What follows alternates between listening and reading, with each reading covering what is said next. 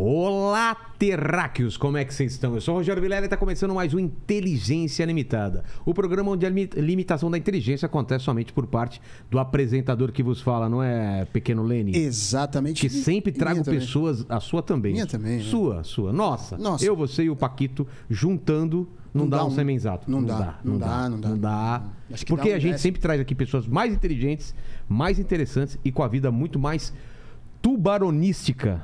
Gostou do tubaronística? É, Tubaronística. Eu acabei de inventar esse termo, cara. Você é a uma gente- enciclopédia, É, um eu sou um, é um vivo. neologismo agora. É. Antes de falar com ele, com o nosso convidado maravilhoso, queria que você falasse com a live, como eles participam com perguntas. É isso aí, galera. Já tá fixado lá no chat as regras, tá bom? Vocês podem participa- participar com pergunta, com comentário, aquele famoso jabazão pra ajudar a gente, né? Exato. Aí você se inscreve no canal, ativa o sininho lá pra E dá receber o a like que notificação. ajuda demais. Dá um like que ajuda demais.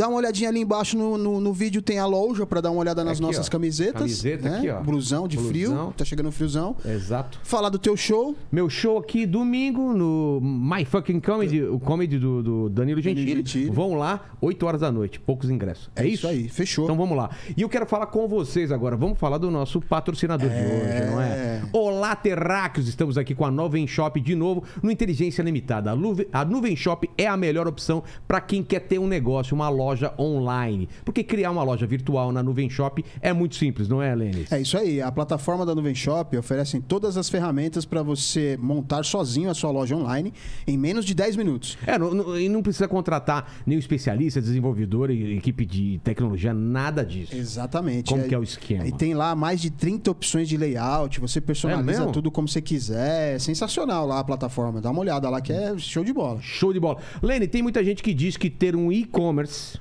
né? E-commerce, lembra quando começou a falar, você tem que ter um e-commerce. E-commerce. Você, é, como que vocês chamavam o pessoal na internet antes?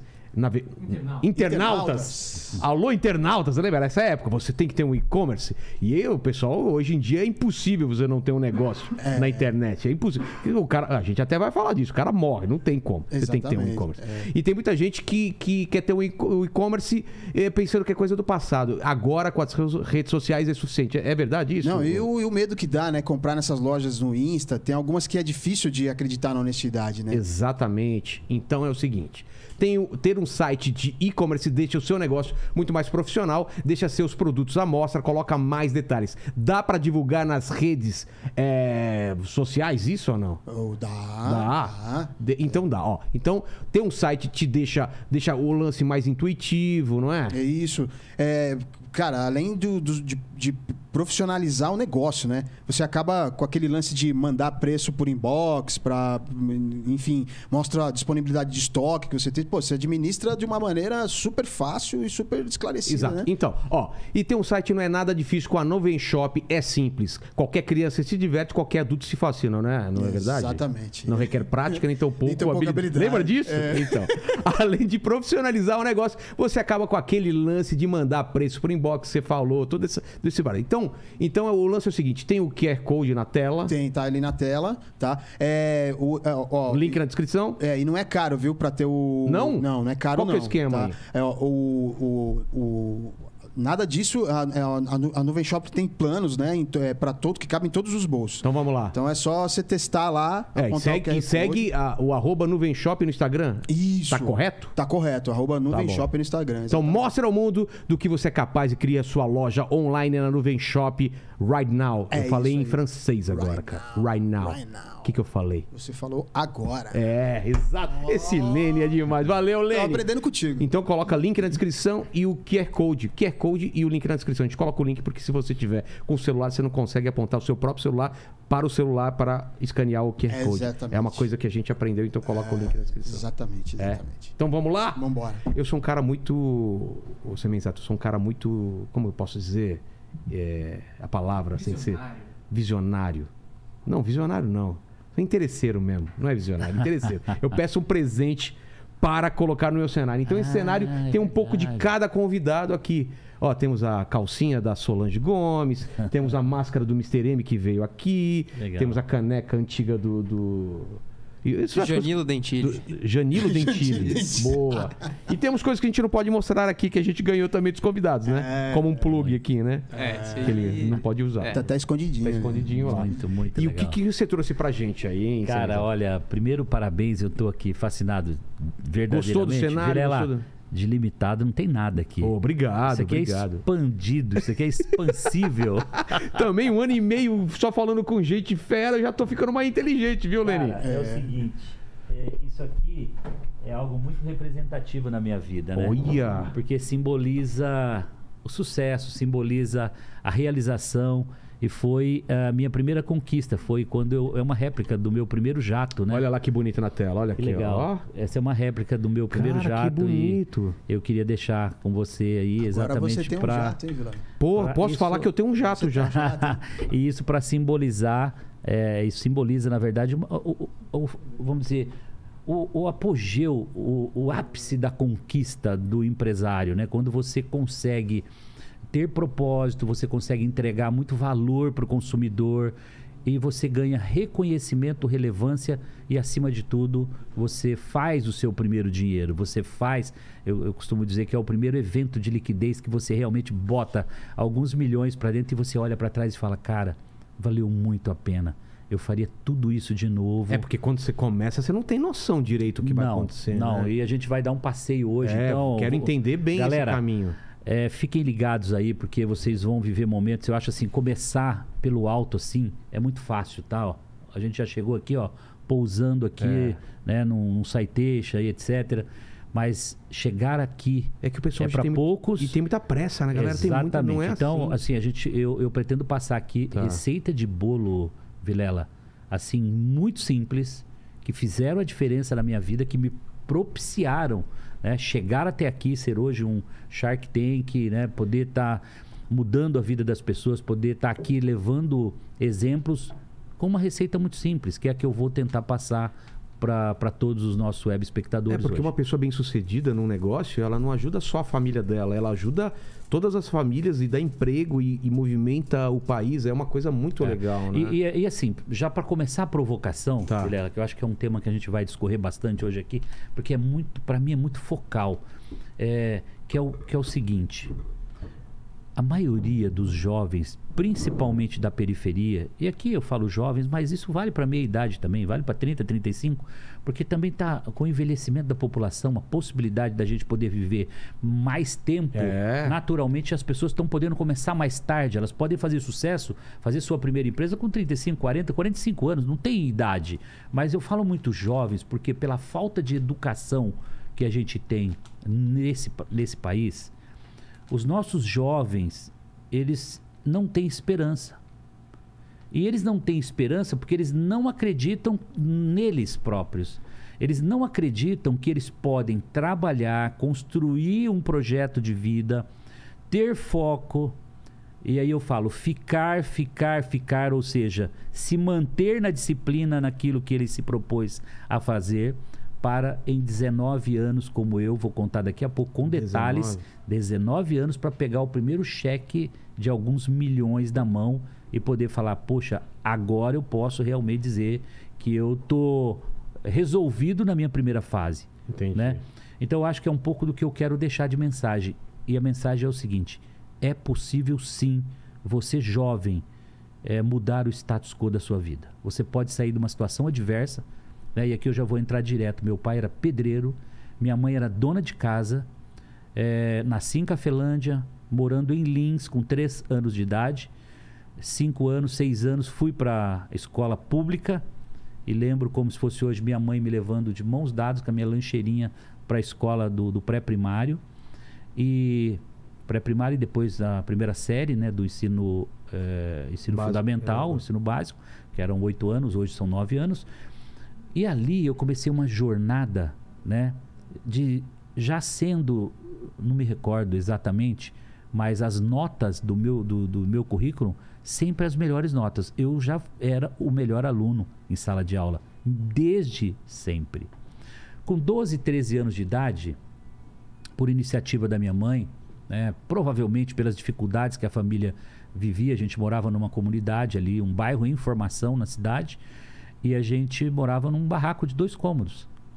E é, isso, isso eu tenho lembranças, banheiro fora de casa e eu- minha mãe lavava roupa numa tábua, que ela chamava de batedor de roupa, alguma coisa, né? Um, é um, não, não tinha um tanque, era uma tábua e ali ela batia roupa, lavava roupa. Imagina, meu pai pedreiro, Nossa. roupa pesada, né? Claro. E, e era um tambor de aquele tambor de 200 litros, se eu não me engano. Então a água aqui para ir lavando essas roupas. Então assim, e o esgoto era céu aberto. Então imagina você. E, e a- e o banheiro era uma fossa, né? E o banheiro em cima, fora de casa. E, enfim, dá para imaginar, né? Não havia esgoto, não havia nenhuma infraestrutura, né? Então a gente realmente vivia numa situação assim extremamente eh, difícil, né? Precária, e, né? e que é o retrato de muita, de muitos brasileiros hoje ainda. Ainda, né? Enfim, enfim, isso é realmente terrível, né? Mas colocando foco, eu comecei ali a sonhar, eu comecei ali a entender que através do trabalho eu poderia modificar esse status quo meu e da minha família.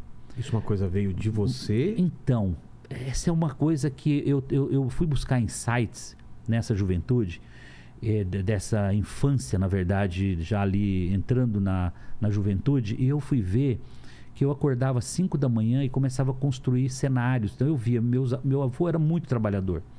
Eh, plantava café, plantava arroz e saía para vender porco, para vender queijo, para vender galinha, e ia para a cidade mascatear. Então, aquele olhar que vinha do avô para o meu pai, trabalhador também, me trouxe esse perfil mu- muito trabalhador, né? muito dedicado. É, preguiça. já estava na raiz da família, de acordar muito cedo, de se pai entregar, de dormir cedo. É. Um pouco da característica do interior também, né? E, e principalmente nas fazendas, né? No interior do, do, do é, Brasil. pegava é, algodão, né? Que machuca a mão. Colher algodão, colher é, algodão, e né? meu, meu avô, enfim, fazia muito isso. E aí, E era olha normal só, as crianças acompanharem naquela época. os muito, pais, né? muito. Eu cheguei com 13 anos, eu começo a vender coxinha. Eu acho que eu me tornei rapidamente o melhor vendedor de coxinha que Lins teve na história. Né? Olha só, Não. não E- e aí- teve outro vendedor teve. de coxinha. E, e as pessoas perguntam, mas eh, como é que você tangibiliza isso? Difícil alguém comprar um Fusquinha 1962 naquela época, tra- trazendo para os dias de hoje, era como comprar um carro hoje de 20, 30 mil reais. E, e eu juntar esse dinheiro quê? eh, de 20, 30 mil reais, juntar esse dinheiro Com a venda de comprando coxinha. com a venda de coxinha. Então eu fazia três viagens na parte da tarde. Trazendo para o mundo de hoje, a gente fosse falar uma linguagem aqui empresarial, Sei.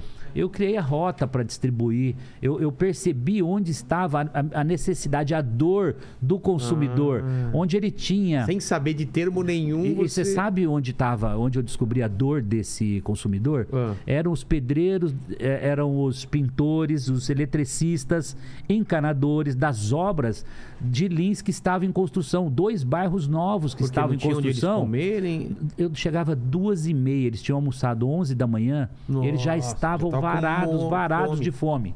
E era o momento que eu chegava para fazer a alimentação deles. Mas as coxinhas que a minha mãe fazia também eram Ah, tem essa também. assim, o produto maravilhosa, ingredientes de primeira, carne moída de qualidade. Sei. Então, assim, cara, eles comiam aquilo assim, eles devoravam.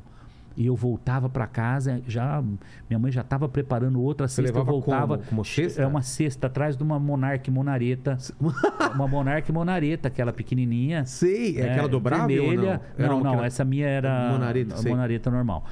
E pequenininha, né? Sei. Enfim, e ali eu dava três viagens de 200 salgados mais ou menos. Então vendia 600 Nossa. salgados. E o pessoal pagando com dinheiro vivo. É, e- mas eu, eu dava uma colher de chá. Naquela Como? época eu usava a cadernetinha, né? Ah, Então, e anotando. e eu passava no sábado de manhã, porque todos esses essas obras pagavam semanalmente. Entendi. Então no sábado eles recebiam. Então eu passava no sábado para receber. E nesse momento eu fazia então a, a receita ali, a- a- o recebimento da semana. Mas como você percebeu essa chance? Foi por acaso? Vilela, de novo, né? Tem um misto, tem um insight do avô que mascateava, tem a minha mãe que estava buscando essa necessidade. Eu não, eu, não, eu não consigo, obviamente, eu não consegui trazer na minha memória se Qual aquela foi uma iniciativa minha. Entendi. Mas acho que foi uma iniciativa muito coletiva da família, etc., sentindo a Tipo, necessidade deve, deve dar pra vender lá, né? de trazer uma renda para a família. Agora, esses insights da, da, do, do, do perfil do cliente, esse foi meu. Aí não. Aí É? era insight, aí era insight de empreendedor, que eu não sabia até então. No final do dia, eu já estava nascendo ali um grande vendedor. Mas eu fui perceber isso mais adiante, tá? Tá. Bom, rapidamente eu consigo meu primeiro emprego. Né? Essa minha desenvoltura, networking, Quantos anos? relacionamento, 15 anos de idade, eu recebo meu primeiro registro em carteira, copiador de Xerox. Onde? Em Lins, Lins né, chama Garagem Cópias, essa Tá. copiadora existe até hoje. E aí, eu não fui um simples copiador de Xerox, cara. Eu fui o melhor copiador de Xerox que Lins teve. E como é que eu materializo isso? Primeiro, eu fazia a cópia ficar melhor que a original. O cliente chegava com uma cópia suja, velha, com Sei. durex colado pra todo. Eu ia buscar qual é a máquina que tem tecnologia adequada Ah. para fazer aquilo realmente, para que o produto final ficasse melhor. Né? E eu conseguia extrair, então eu limpava fundo, eu melhorava a Deixa- tonalidade, melhorava usando contraste. tecnologia, tá? Sei. E com isso, eu fui sendo visto pelos clientes. E aqui eu começo a passar algumas dicas e algumas lições. A primeira delas, você vai ouvir muito, seja o melhor sempre. Você vai ouvir sempre isso. Porque eu fui o melhor vendedor de coxinha, o melhor copiador de Xerox. E nessa de ser o melhor, de interagir, eu começo a fazer um curso de computação nos finais de semana. Esse curso de final de semana, aprendendo a programar computadores, me levou a conhecer o seu Valmir no balcão, que era um daqueles clientes mais exigentes que existe. Que alguns chamam de chato, eu prefiro chamar de exigente. Exigente, claro. E o seu Valmir olhou e falou: Semenzato, você está aprendendo computação. Você tem uma qualidade, um cuidado, um, você tem lógica, você tem. Ele, ou seja, ele uniu tudo isso com programação e falou: tem uma oportunidade para você. Eu vou te levar para o maior grupo empresarial aqui de Lins, grupo Sermaco, cerealista, material de construção, eh, fazendas, enfim, tinham muitas atividades. E eu fui para essa empresa então para receber o primeiro computador de médio grande porte que estava chegando em Lins.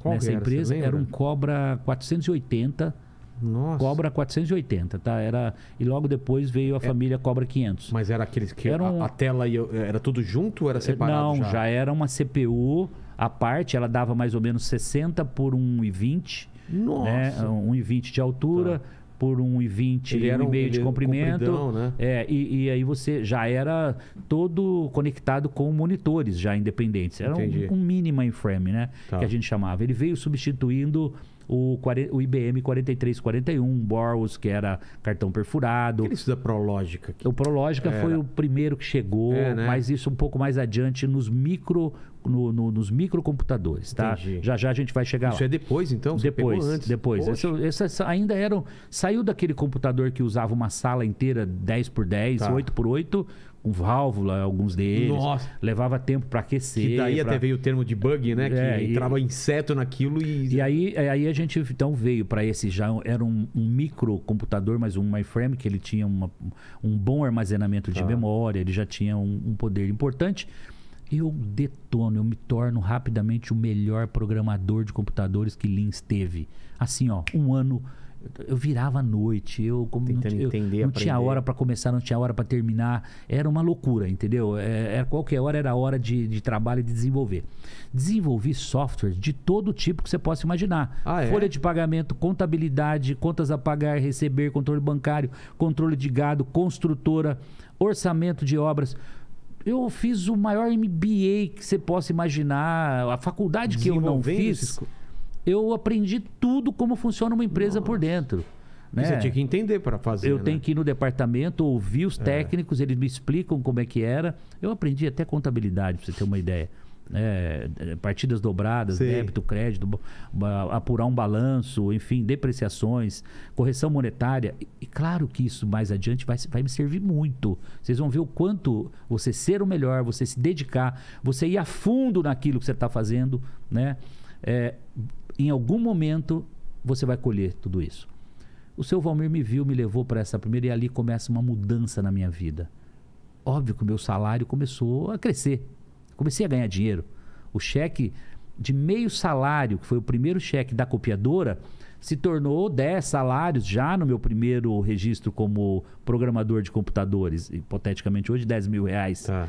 Né? E rapidamente eu me torno analista de sistemas e já montei um time de programadores, de digitadores, operadores, né? E fiz o meu departamento crescer. Eu comecei a desenvolver softwares e sistemas. Isso nos anos 80. 80 e alguma coisa, 80 e pouco, é. Quando foi ah, com 17 anos, eu termino meu curso, 17 para 18, eu termino meu curso técnico em processamento de dados. Eu aprendi o cursinho de final de semana, e aqui outra dica. Aquele final de semana que a maioria, eu não, eu não vou dizer que, eu, que não deve fazer isso, eu não vou dizer que não tem que ter lazer, eu não vou dizer que não tem que assistir filme, mas enquanto a maioria no sábado ia bater bola, ia pra pelada, ia pra balada, o Semenzato ia fazer curso, ele ia aprender, ele ia se capacitar. E tudo isso Isso faz diferença. as oportunidades vieram. Então aqui é mais uma dica, né? Você está esperando ser o melhor programador, ser o melhor mecânico, ser o melhor cozinheiro, ser o melhor chefe, ser o que for. Se você não tomar uma atitude e começar essa transformação na sua vida agora, se capacitar, a, a- a- a realmente buscar o seu sonho, não vai cair do céu. Ninguém vai trazer. O seu Valmir não vai aparecer na sua vida e vai te dar a oportunidade para aquilo que você não está preparado.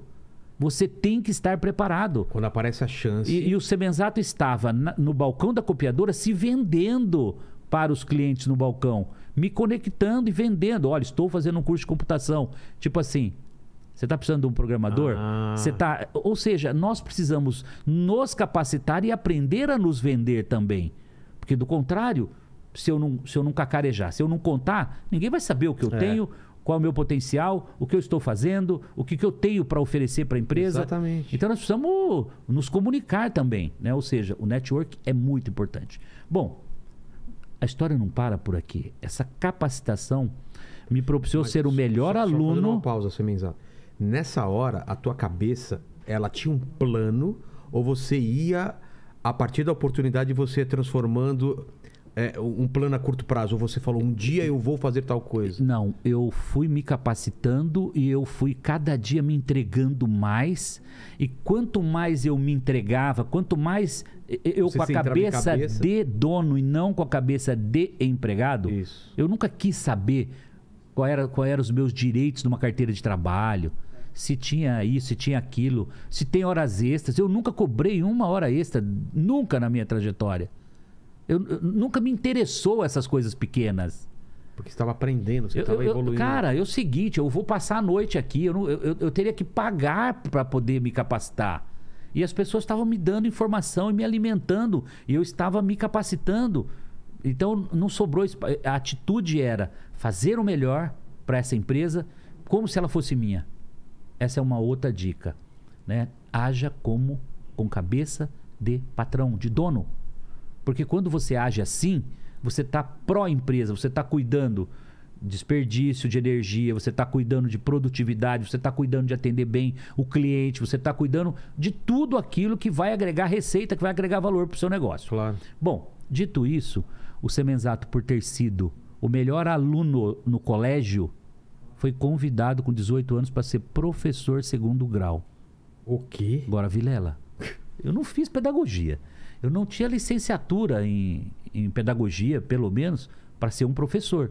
Mas eu tinha a escola da vida, eu tinha competência técnica. Ah, O, o- o Paquito tá perguntando se quer comer alguma coisa agora.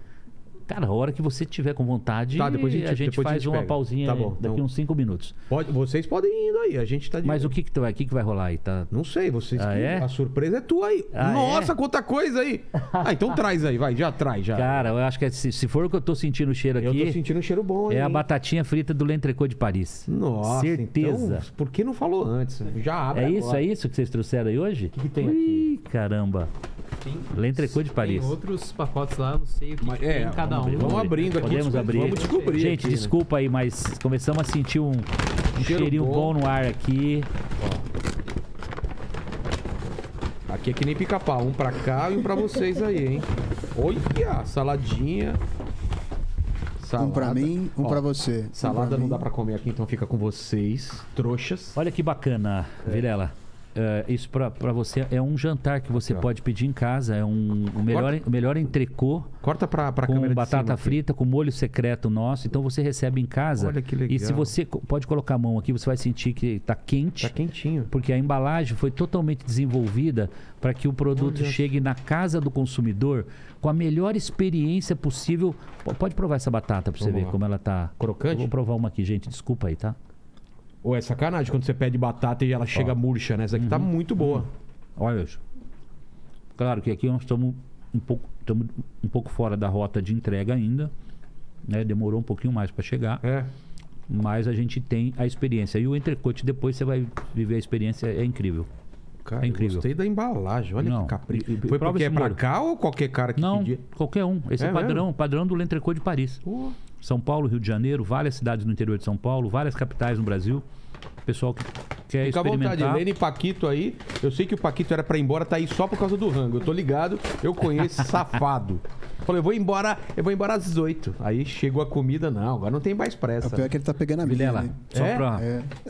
Vilela, só pro pessoal não perder a sequência aqui, então. Vamos lá. Enquanto você vai é, conhecendo a experiência Aí aí. aqui é sobremesa, É. depois vão pegar também. O, sendo, tendo sido, Vilela, o melhor, prof- o, o melhor aluno, eu fui convidado então para ser professor segundo grau.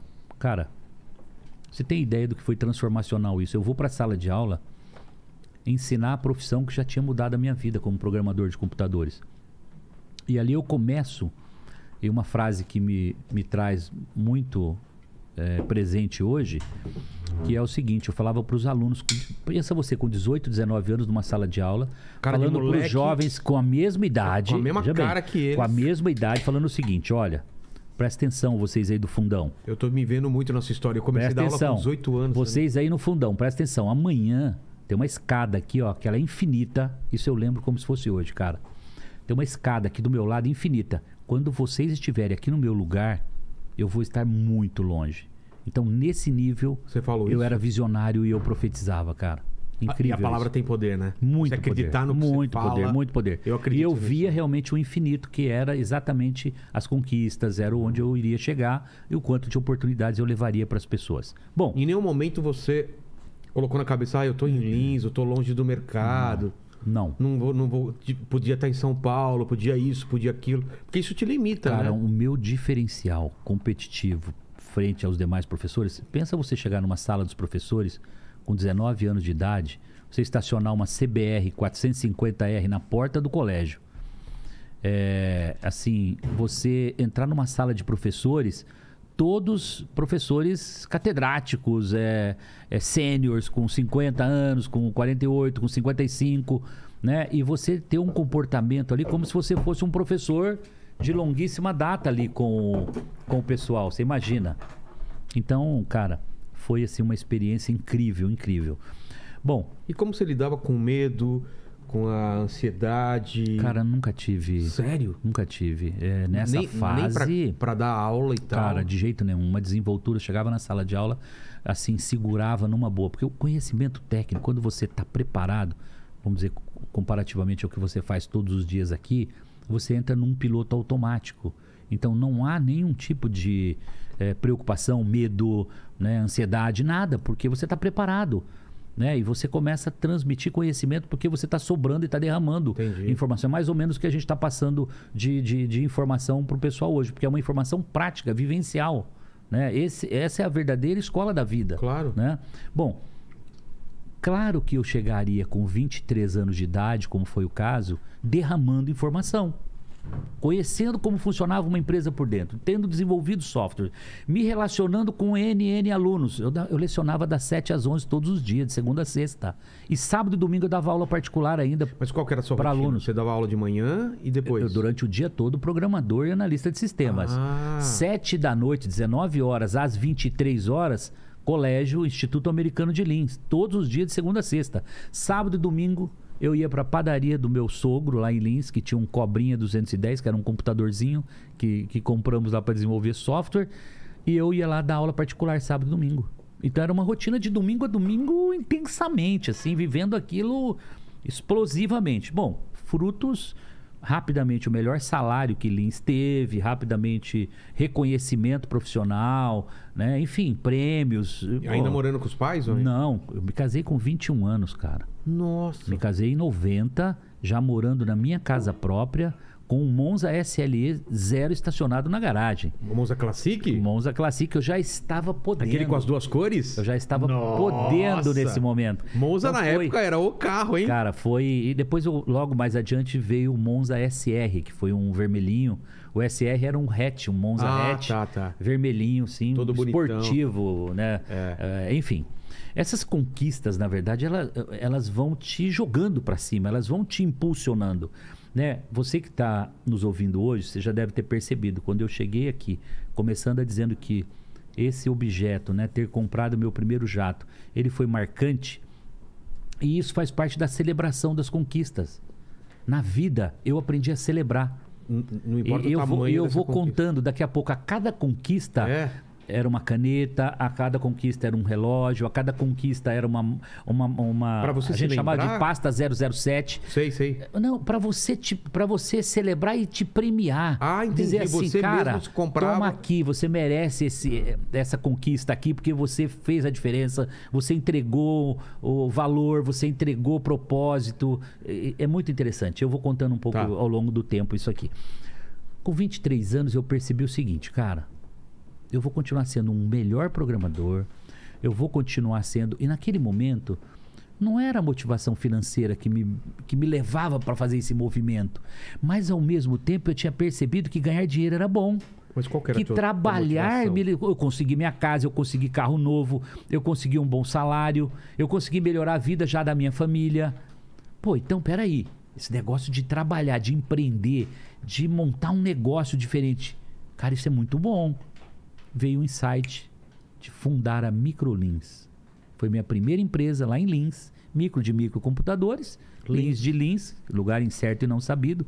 Ele tinha quase tudo para dar Lugar errado. Certo e não sabido? É, Lins, lugar é incerto causa e não sabido. chama- Não, não. Lins, Ah, nada tá. a ver com a história. Tá. É que, por um acaso, o trocadilho serve. É, lu- lugar Mas incerto você, e não você, sabido. te- você imagina que uma marca que você cria, né? Sem nenhuma criatividade, que primeiro é micro, porque é pequeno, né? Teoricamente, embora tivesse a ver com microcomputadores. E, e Lins, um- uma cidade pequena de 60 mil habitantes, na época era 50 mil. Você imagina que isso poderia dar certo? Entendeu? Hum, A primeira coisa que vem é, cara, vai dar errado. Mas o Semenzato vai lá e funda essa microlins. E no primeiro, primeiros três meses, eu coloco 300 alunos na escola, cara. E rapidamente 500 alunos. E aí eu começo a abrir. Penápolis. Promissão. Penápolis, sou de Penápolis. Penápolis, Promissão, Birigui, Araçatuba. Vou fazer as rotas, hein? Tá. Do outro lado, Marília, Assis, Paraguaçu Paulista. Do outro lado, Cafelândia. Pirajuí. É, Cafelândia, Pirajuí, Bauru, Bauru. na sequência para Bauru. Tá. É, do lado de Bauru, Jaú, Agudos, Lençóis Paulista, tudo em volta de Bauru. Mas o investimento era grande porque... Outra sequência, eu montei 17 escolas. São José do Rio Preto, Que é grande. Votuporanga, ah, Catanduva. Bom, ok, isso aqui deve dar aí as 17 que eu Quanto comecei. tempo isso? Isso em dois anos e meio. Eu inaugurei uma escola por mês. Todas alavancadas no famoso leasing bancário. Então, esse é o momento que o Semenzato descobriu que tinha um bom negócio, que os bancos poderiam ajudar no financiamento, a fomentar esse empreendedorismo, só que ele não teve uma consultoria, nem familiar e nem de fora, que pudesse dizer: cuidado com o dólar. O dólar está 3 hoje, hipoteticamente, mas ele pode ir a 5,80, como foi agora. É. De 3, ele foi a 5,80. E aí o Semenzato tomou contratos de leasing todos em dólar naquela Ai, época. cara. E o dólar explodiu? Bom, com três anos de empresa, isso era 94, tá lembrado? Alguém vai se lembrar aí do Plano Real. Lembro. O Plano Real veio em 94 e falou o seguinte: congela o que você vendeu a prazo e coloca uma tablita, uma tabela de deflação. O que custava 10 vai custar 9,80 no mês que vem, Sei. 9,60. Era o carnê que tinha desconto, porque tinha inflação embutida ali naquela venda. Bom, Entendi. Quanto à receita caindo. Tá claro, né? Tablita, desconto, receita caindo. Contrato dos financiamentos É. Atrás, bancários é, subindo. Leasing, todo mês subia. Gente, seis meses depois, não tinha dinheiro para pagar professor, não tinha dinheiro para pagar aluguel, não tinha dinheiro para pagar as prestações dos bancos. Bom, quebrei. Quebrou. Era 94, seis meses depois estou quebrado. Lembra do seu Valmir? Que foi o cara que me abriu a porta lá Claro. atrás, etc, etc, etc. Rapidamente, eu encontro o seu Valmir e o seu Valmir me diz assim: Por que você não faz franquia? Você não Eu precisa falei, ser dono "Valmir, das. Franquia? O que, que é franquia? O que, que é isso, Valmir? Eu, eu vivi em Lins, né? É. Eu- olha só, não era São Paulo nem Rio de Janeiro, eu estava em Lins. Talvez eu viesse a São Paulo uma vez por ano, sei lá, e olhe lá. Né? Nem tenho memória Isso disso. são quantos quilômetros? 500? É, 500 quilômetros, 450. 450. Mas enfim, eu tá. vivia focado, trabalhando e tal. Vinha a São Paulo muito raramente. Bom, eu não sabia o que era franquia de verdade. E aí fui me inteirar. Fui falar com o advogado, ele formatou a franquia.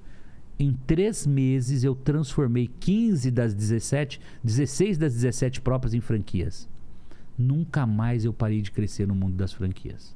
Esse foi, foi a grande sacada, então. Foi, ah, e aí você vai dizer o seguinte, pô, mas você planejou para entrar no mundo do franchise? Não. O franchise surgiu na minha vida por pura necessidade. Necessidade, é. Ou eu ia para o franchise ou eu desapareceria como empreendedor e voltaria a ser o programador. Com- e Tava com uma tudo dívida, certo. né? E com uma dívida enorme, porque ela fica lá por cinco anos esperando você liquidar. Não tem. Nossa. Porque os computadores vão.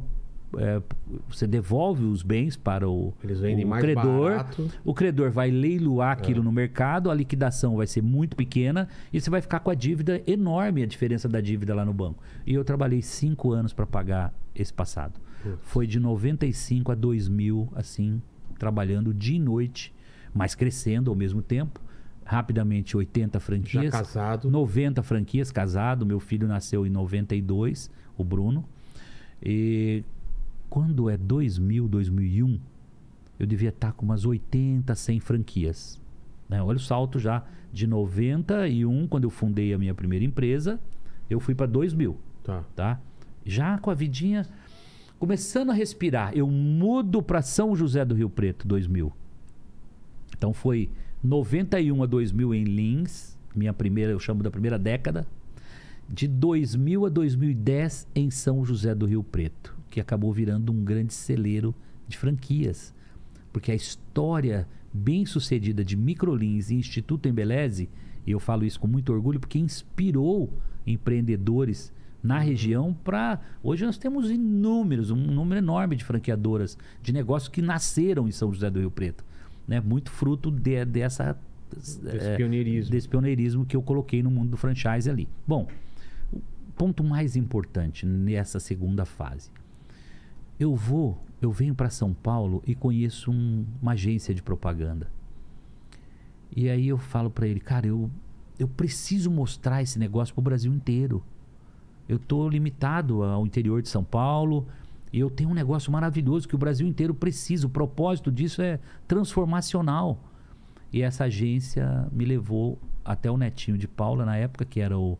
Ele estava em 2000 inaugurando na TV Record o, o programa Domingo da Gente com o Dia de Princesa. Ah, é, ele veio aqui e contou a história. Cara, nesse 2001 eu entro como patrocinador e aqui eu vou contar uma outra história para vocês, porque ela é inspiradora.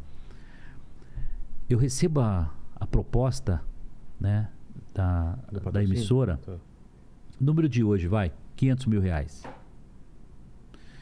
Eu levo eh, essa proposta para a empresa. Eu tinha um sócio com 30%, que era um ex-bancário, e eu tinha 70% da empresa. Tá. Eu tinha poderes para contratar, eu tinha poderes para tocar tudo isso sozinho. Mas eu não. Eu sempre fui muito solícito, participativo, educado. Eu sempre quis, mesmo um sócio minoritário, eu sempre respeitei, desde sempre. Eu fui ouvir meu sócio, falei: o que, que você acha? Vamos fechar, que isso aqui vai. Essa é a mudança nossa de série. A gente vai sair da série C e nós vamos para a série A. Porque nós vamos para a televisão nacional e nós vamos nos mostrar para o Brasil inteiro e nós vamos crescer muito. Meu sócio olhou para aquilo e falou: Não, isso é uma parada indigesta, eu não assino de jeito nenhum. Bom. Achou arriscado. Arriscado demais. Eu, eu respeito, eu não, eu não- vou desmerecer nunca uma, uma atitude e uma opinião dessa. Claro. Eu fui para casa frustrado aquela noite. Sinceramente, eu talvez eu não tenha dormido aquela noite. E eu já tinha uma Mercedinha, devia valer comparativamente a hoje 300, 400 mil reais, talvez. Mas assinar uma fatura de 500 ou um pouco mais. Eu fui para casa desapontado e de manhã, naqueles insights da manhã, é, me vem uma, vamos dizer assim, uma voz fala assim para mim, cara, faz o seguinte, assina aí esse contrato sozinho e se o dinheiro não entrar, você vende seu carro e paga a fatura. E foi o que eu fiz. Cheguei na empresa sete da manhã, fui direto na sala do sócio, falei, sócio, é o seguinte, vou assinar sozinho, não se preocupe, se não entrar o caixa necessário para pagar essa fatura, o meu carro está à disposição, vou queimá-lo no mercado para pagar a fatura, mas não vou trazer problema para a empresa. 45 dias depois, que foi a data que venceu a fatura, cara, tinha acho que um milhão e meio de cheque pré-datado no cofre de venda de franquia. Explodiu vendendo E franquia no? Brasil inteiro. Ah, ficou rico, Felizão. ficou rico junto, tá tudo é. certo. E, é, então, aqui é ousadia, mas é uma ousadia com uma certa já. É, com um certo pé no chão. Não é aquela coisa do eu vou saltar sem paraquedas, né? É. Eu dei um salto de. Eu, assim. fi- eu, eu fui agressivo, mas ao mesmo tempo deixei um lastrozinho. Já não tava lá na época que não tinha um passarinho para dar água do, do dólar, que a hora que veio o dólar dispara, não tinha patrimônio, não tinha reserva, não tinha nada aqui para dar. O colchão não existia. É. Aqui não, tinha o carrinho aqui, a Mercedinha que podia vender para poder pagar. Graças a Deus deu certo, nunca mais eu saí da televisão. Então, mensagem, né? Quem não comunica se, estrum, se estrumbica, de- dizia o, Chacrinha, o né? Chacrinha, mas mais do que isso. Quem não eh, se mostra, Não é quem visto, né? não é visto, não é lembrado. Então, eh, isso para mim foi um mantra para minha vida aqui. A comunicação, você poder, você divulgar, você mostrar os seus produtos e serviços, fazem toda a diferença. Bom, aqui eu E uma época que não tinha rede social, é, não tinha eu, site, eu- eu dou, nada. eu dou uma pausa e ao mesmo tempo eu salto de 2000, 2001. Depois veio o programa do Gugu, Ah. Domingo Legal, tinha o Dia de Princesa lá, que o Netinho ia às vezes, eh, no outro programa também, fazer o Dia de Princesa. E eles faziam uns bem bolados assim. E eu eh, fiquei amigo do Gugu nessa época também. E, aliás, um querido amigo, recebi ele na minha casa em São José do Rio Preto.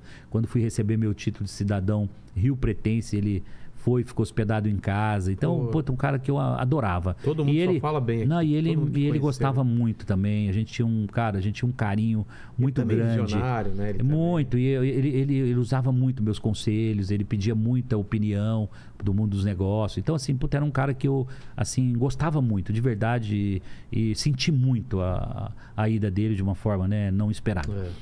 Mas eu ia para o palco do Gugu e do Netinho com uma pasta azul escrita Microlins. E a mídia mais inusitada que eu fiz, Vilela, foi o dia que eu levei. Combinei com meu sócio, ele foi com um envelopão fechado, escrito Microlins, no envelopão Sei. desse tamanho.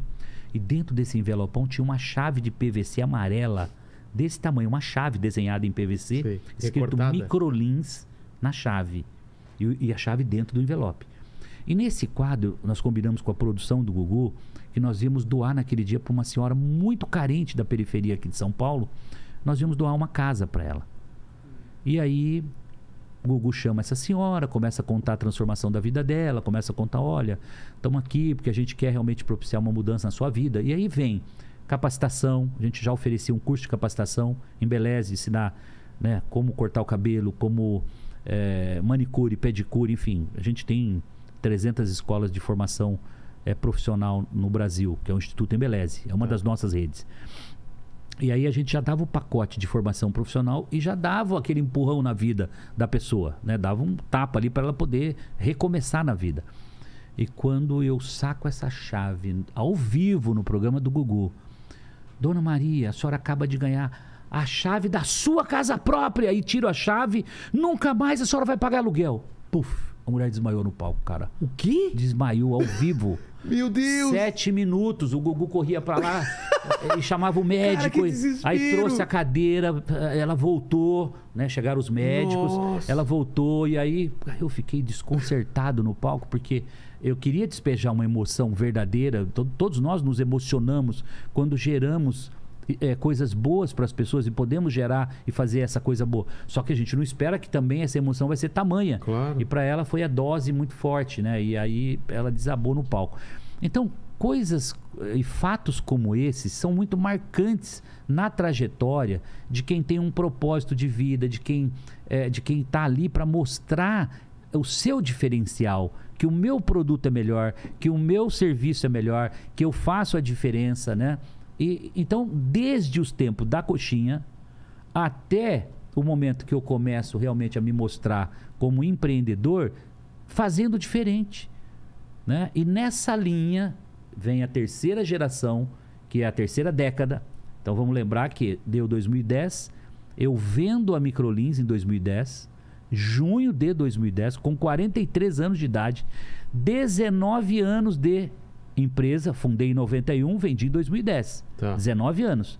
E coloco aí entre 80 e 100 milhões de reais no bolso líquido, depois de pagar a parte de sócio, pagar o imposto de ganho de capital, pagar fechar para balanço, pagar todos os, vamos dizer, qualquer dívida e qualquer coisa que tivesse, e sobrou esse valor. Então, com 43 anos de idade, em 2010, eu olho para tudo isso e falo, cara, eu, eu venci. E por que você vende? Porque você queria ir. Cara, eu tinha que mudar de. Eu tinha que, eu tinha que virar chave. E eu só poderia começar a minha terceira fase, que é a criação da SMZTO, como holding multissetorial, com um capital. Com capital, E, e- e- se você não tem um evento de liquidez, você não, não cria um valor importante como esse, um cheque grande no, no bolso. Então eu realizo, né? Realizo naquele momento. Foi. Devo ter chorado uns quatro minutos e meio no dia que eu entreguei a empresa. Assinei uma pilha de papel aqui na Faria Lima dessa altura e entreguei praticamente a chave da empresa. E daquele dia em diante, eu não sou mais o semenzato da Microlins.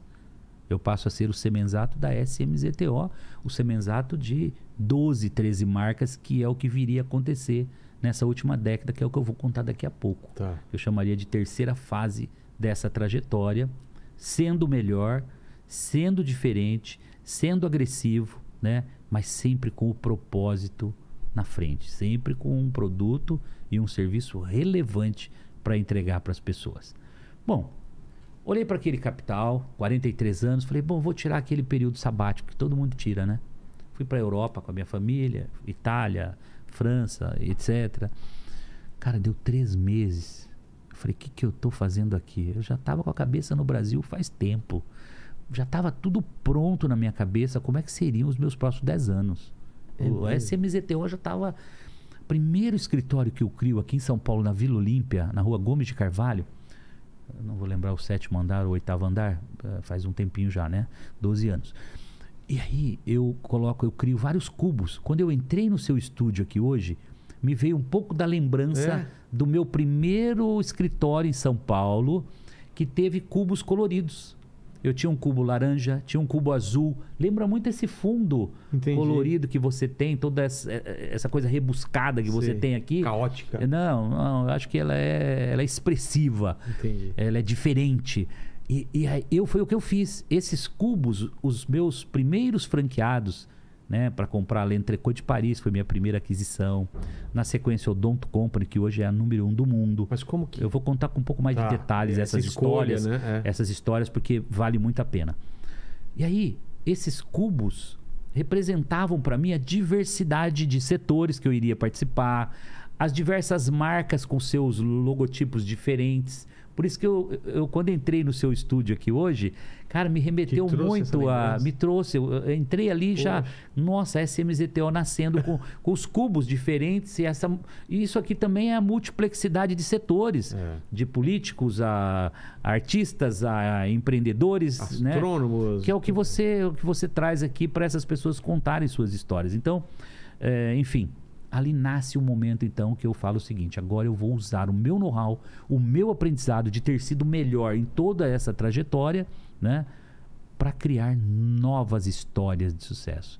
E aí, SMZTO se torna a maior, o maior grupo de franquias do Brasil hoje, a maior aceleradora de negócios já testados. Né? E, e aqui eu tenho que contar um pedacinho dessa virada de chave.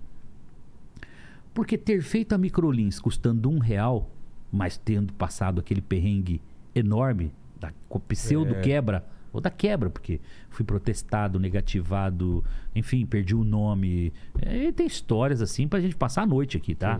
Entendi. Tudo que você possa imaginar, de busca e apreensão, Caramba. de oficial de justiça em casa, de apreensão de baú de brinquedo do filho. Coisa assim que você. É de, é de chorar, entendeu? Mas eu acho que com, com esses é, exemplos que eu coloquei aqui, as pessoas que estão nos assistindo já, já entenderam a profundidade que foi aquele momento da quebra, né? Mas depois de ter dado a volta por cima, né?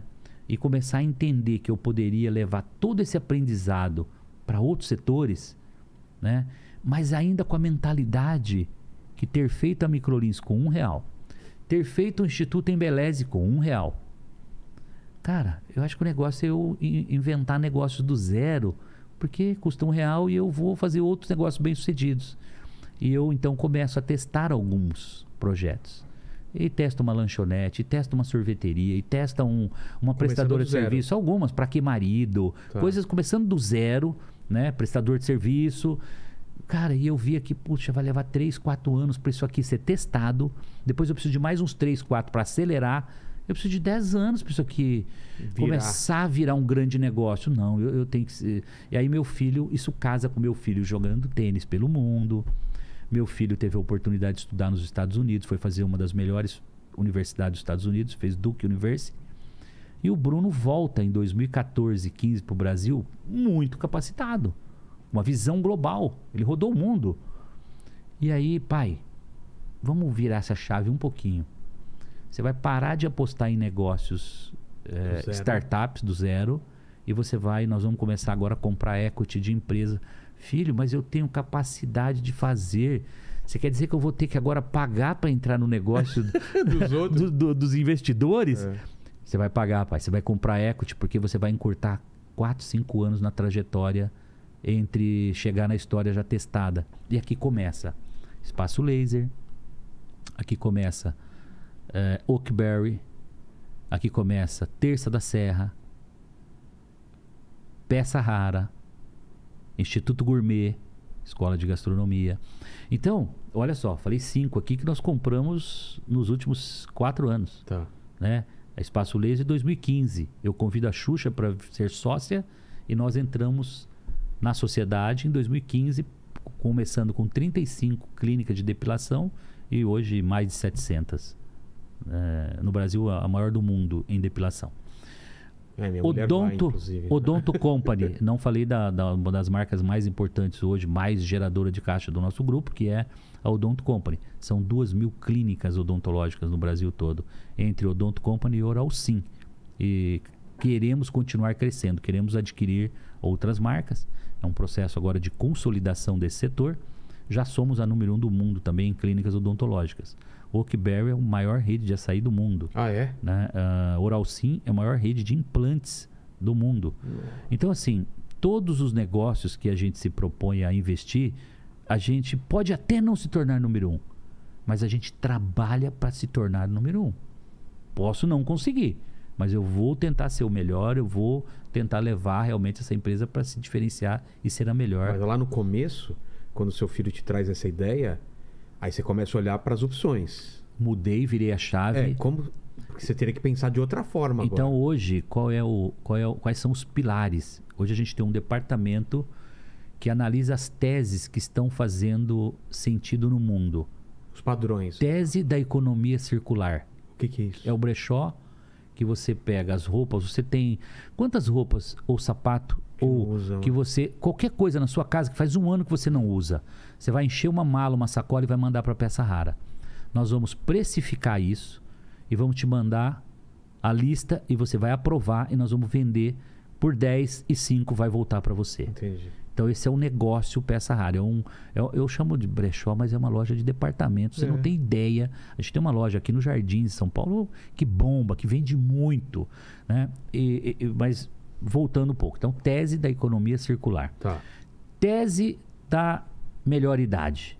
Nós estamos com um país que daqui a 30 anos ou daqui a 20 anos, nós teremos mais de 30 milhões de pessoas. Nós seremos um idoso daqui a 20, 30 anos.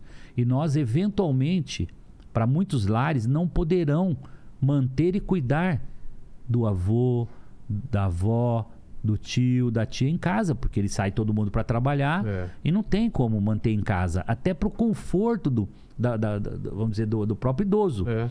Então a Terça da Serra foi adquirida nessa tese.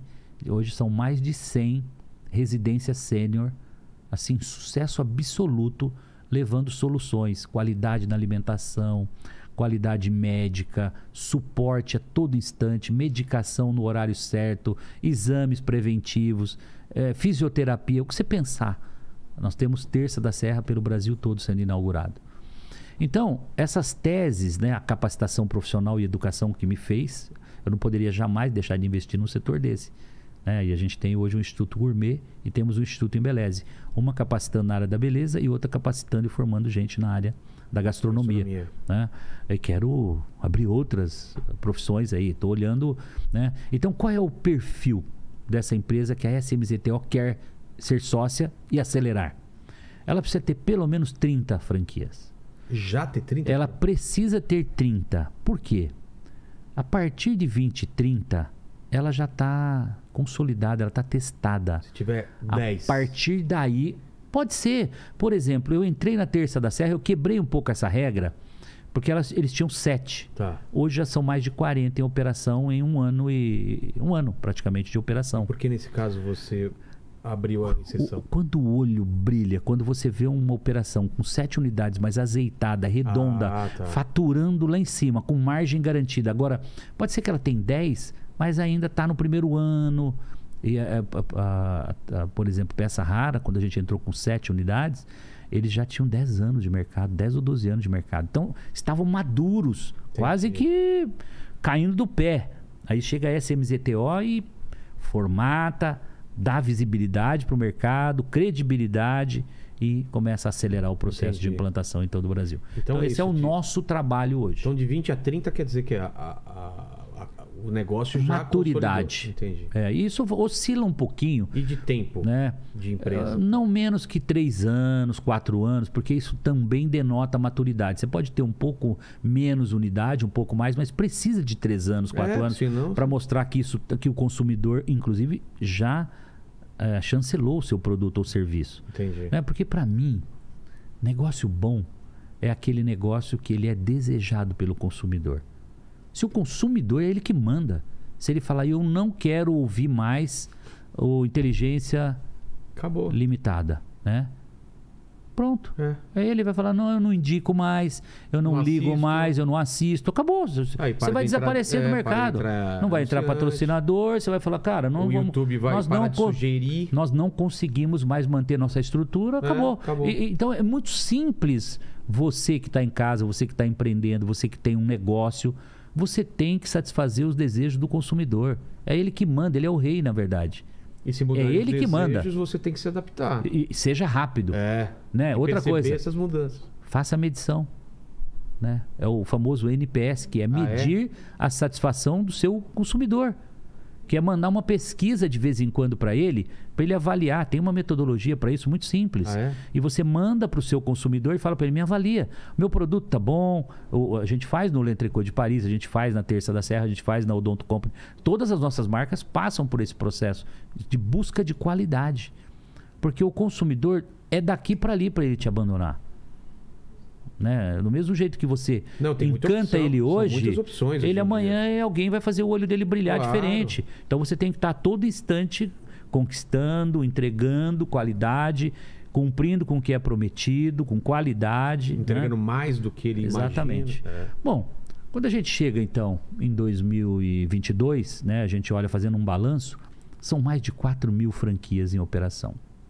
A gente cresce em mais de mil franquias por ano. Por que, que o modelo de franquia ele funciona mais do que a- a- eles serem donos de aquela ideia inicial sua da Mecunis de você ser Sim. dono de cada propriedade? Qual é a, qual é a diferença? A diferença é que você, quando você monta filiais, você precisa montar um back-office, que a gente chama um conjunto de colaboradores para estarem presentes nessa rede à distância. Su- seu. Gerentes regionais, Ah, consultores, gerente de campo, né? Você tem que ter um time dentro da unidade, mas onde é que você perde muito? o olhar do dono, o umbigo do dono no balcão. Que a franquia tem muito isso. É o dono que abre Cada a um tá lojinha. cuidando daquele- cada um tá cuidando da lojinha. dele, é. E mais importante, ele botou um dinheirinho na frente, ele vai cuidar daquilo. Porque Exato. tem suor, tem, tem dinheiro dele ali. Ele, ele abre de manhã, ele fecha à noite, ele cuida da lojinha. É simples assim. É, por isso que o modelo de franquia é muito bem sucedido. Entendi. E por isso que está consolidado e por isso que cresce tanto. Mesmo no momento em que o país não está crescendo, o franchise che- chegou a crescer vários anos a dois dígitos. Ah, é? 12, 17, 19%.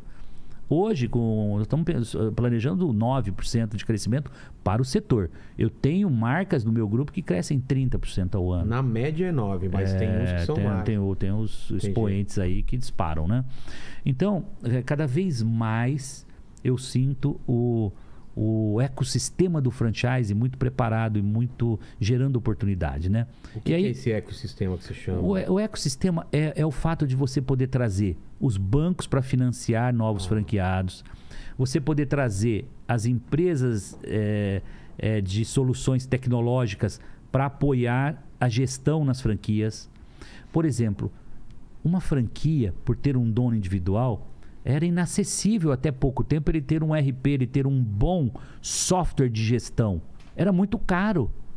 Então, com a evolução tecnológica, a tecnologia se tornou disponível para qualquer, Barateou, é. qualquer lojinha pode ter Exato. tecnologia, pode ter uma frente de loja eh, bacana, que fecha, que controla o estoque, que controla as vendas do dia, que já emite cupom fiscal, tudo integrado. Gera caramba. contas a receber, você já pode estar integrado com contas a pagar no dia seguinte. Então você passa a ter soluções muito, muito robustas a um preço que cabe no bolso desse Entendi. pequeno empreendedor. E é uma coisa que no passado não havia é, é, esse acesso. Então, por isso que o sistema de franchise, e eu falo do ecossistema muito, porque eu quero cada dia mais ser um provedor de soluções para um franqueado. Ah, você também pensa nessas soluções também. Mas que a solução transcenda não só o financiamento para ele comprar uma franquia, Não, mas também para o consumidor. Ah, por... Que ao comprar um tratamento odontológico lá na Odonto Company, ele tem um financiamento do Santander, um financiamento de qualquer outro banco que ele, que ele, que ele queira financiar. Que ele, ao comprar um produto nosso, ele tenha crédito já imediatamente aprovado dentro, dentro da nossa franquia. Entendi. Isso é trazer todo o ecossistema né, em prol do consumidor, do franqueado e, por óbvio, vai acelerar o crescimento. Então, quando eu falo de uma plataforma SMZTO, é uma plataforma com soluções de todo tipo para quem pensa em montar o seu primeiro negócio. Entendi. E tem uma diferença absurda, Vilela, que eu preciso dizer aqui, que quando alguém acorda de manhã e fala, vou montar uma lanchonete, beleza, não é difícil. Eu vou comprar um freezer, eu vou comprar um balcão eh, refrigerado, eu vou comprar aqui, eh, um- um- vou botar uma prateleira aqui para botar ah, os sortimentos aqui, o meu estoque, as minhas bebidinhas, papapá. De cabeça aqui a gente montou já o nosso, É. a nossa lanchonete. Uma chapa aqui para fazer o lanchinho, a padaria vai entregar o pãozinho, os hambúrgueres vão estar congeladinho ali, tá, tá, tá, tá, tá, os temperinhos estão aqui. Beleza, já montamos a nossa lanchonete. Mas quando você compra uma franquia, você vai muito além, tá tudo planejado. Qual é a melhor marca de, de- de- de- da, da geladeira que vai suprir a temperatura exata que o produto precisa estar? Qual é o tamanho da, da câmara de refrigeração que vai ser dimensionado? Você, Quanto você quando tem monta, comprado? você entra numa curva de aprendizado de acertos e erros. Que te- você leva três anos para acertar. Três anos no mínimo. E aí seu dinheiro já acabou, você já desistiu, você já fechou o negócio. E a franquia não. A gente leva a receita de bolo. Vilela, vem para cá, vem pro treinamento. Você vem pro treinamento. Olha, sabe que esse negócio depende disso, disso e disso. Agora eu vou te ensinar como é que você monta. Os layouts estão todos prontos aqui. A- aqui está a lista dos fornecedores que você vai comprar. Já estão negociados com os melhores preços e aqui estão os bancos que vão oferecer o financiamento caso você queira. Eu nunca recomendo financiar 100%. Recomendo financiar no máximo 50%. Então 50% você tem que ter dinheiro para montar o negócio. Os outros 50% dá até para financiar, tá? Beleza. De posse de todo esse aparato, eu estou fazendo uma transferência de know-how para você. Naquilo que eu apanhei 10 anos, 3 anos, 5 anos, depende da maturidade de cada negócio.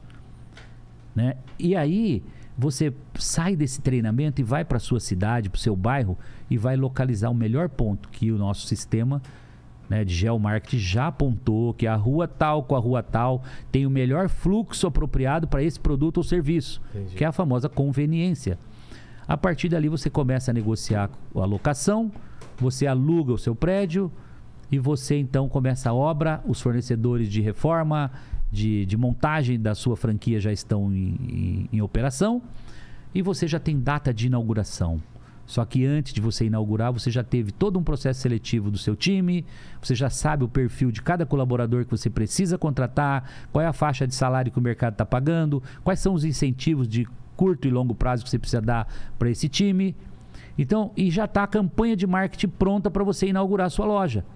Então, hora, o dia que ele, que ele corta a fita da inauguração e os balõezinhos são soltos lá que inaugurou a loja, tá tudo pronto, porque já estava tudo testado, planejado.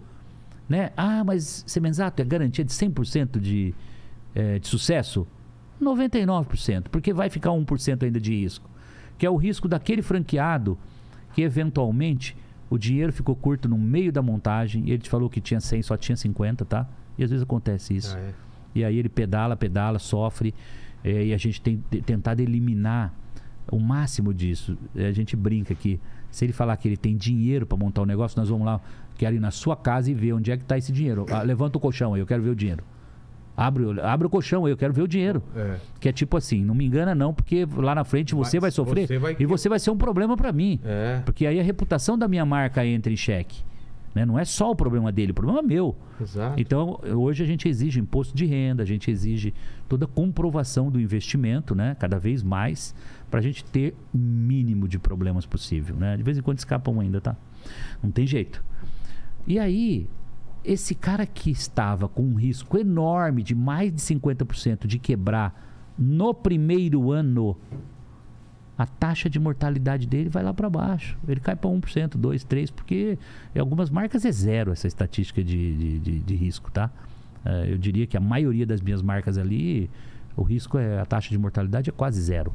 A gente nunca fala zero porque, de novo, tem doença, tem, Tem mudança ca- de é. cidade, tem, gente, tem tudo que vocês possam imaginar. São 4 mil franquias, né? Claro. E sellout, né?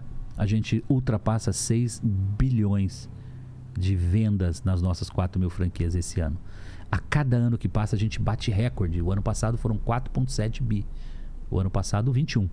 22. pandemia, com a pandemia. Com a pandemia. 22, 6,7 bi é nosso, a nossa meta, nosso orçamento. E a gente está em linha aí, sofrendo um E a- pouquinho, e a pandemia, como 5% foi pra- abaixo. Tudo Bom, fechado, né? Pronto, essa é uma. Né, vamos agora Então- dar uma pausa É. e vamos aqui contar uma historinha à parte da pandemia. Bom, janeiro, tudo começa bem de 2020, né? Tranquilo. Vida tranquila e começa aquele burburinho de. Olha, tem uma pandemia lá, no- Lá na, na China, não sei China. aonde, aqui, olha, tá chegando lá na Tá Europa. na Itália. Aí março, pum, pipocou aqui. Primeira coisa que eu fiz, fui para fui para as lives, convocando os franqueados, dando recomendações. Primeira coisa, preservar o caixa. O que, que é preservar o preservar o caixa significa o seguinte: tudo que é supérfluo você não faz. Tá. Você vai trocar a televisão agora? Não. Não, não é você vai trocar o computador agora? Não. Você vai, vai pintar uma sala? Não. Você vai contratar gente? Não. Agora é hora de preservação de caixa. Tá. Ou seja, tudo que Tem é supérfluo, guarda. É hora de guardar, o, preservar a caixa, tá? Renegociar aluguéis, porque é tudo fechado. Claro. Então você vai chamar o proprietário e falar: Cara, eu fui seu parceiro 10 anos, fui seu parceiro 5 anos. A situação, você está aí, pandemia, está tudo fechado. Ou você me suspende por um mês, por dois, por três. Ou então você já vai saber que nós vamos quebrar todo mundo e vamos morrer abraçado. É. Não tem outra solução. Renegociação com fornecedores. Isso virou um efeito em cadeia, né? Isso virou um efeito em cadeia. Eu renegociando com o shopping, o shopping renegociando, obviamente, com os bancos, É. os bancos renegociando com seus clientes, que, de onde eles captaram o dinheiro, vamos alongar a dívida, renegociando lá fora, vamos alongar o nosso dinheiro, porque aqui não estou recebendo. Um efeito cadeia. E assim a gente acelerou esse plano preservação de caixa, renegociação com fornecedores. Eh, eu tomei uma iniciativa que foi muito assertiva. Não vamos demitir ninguém durante a pandemia.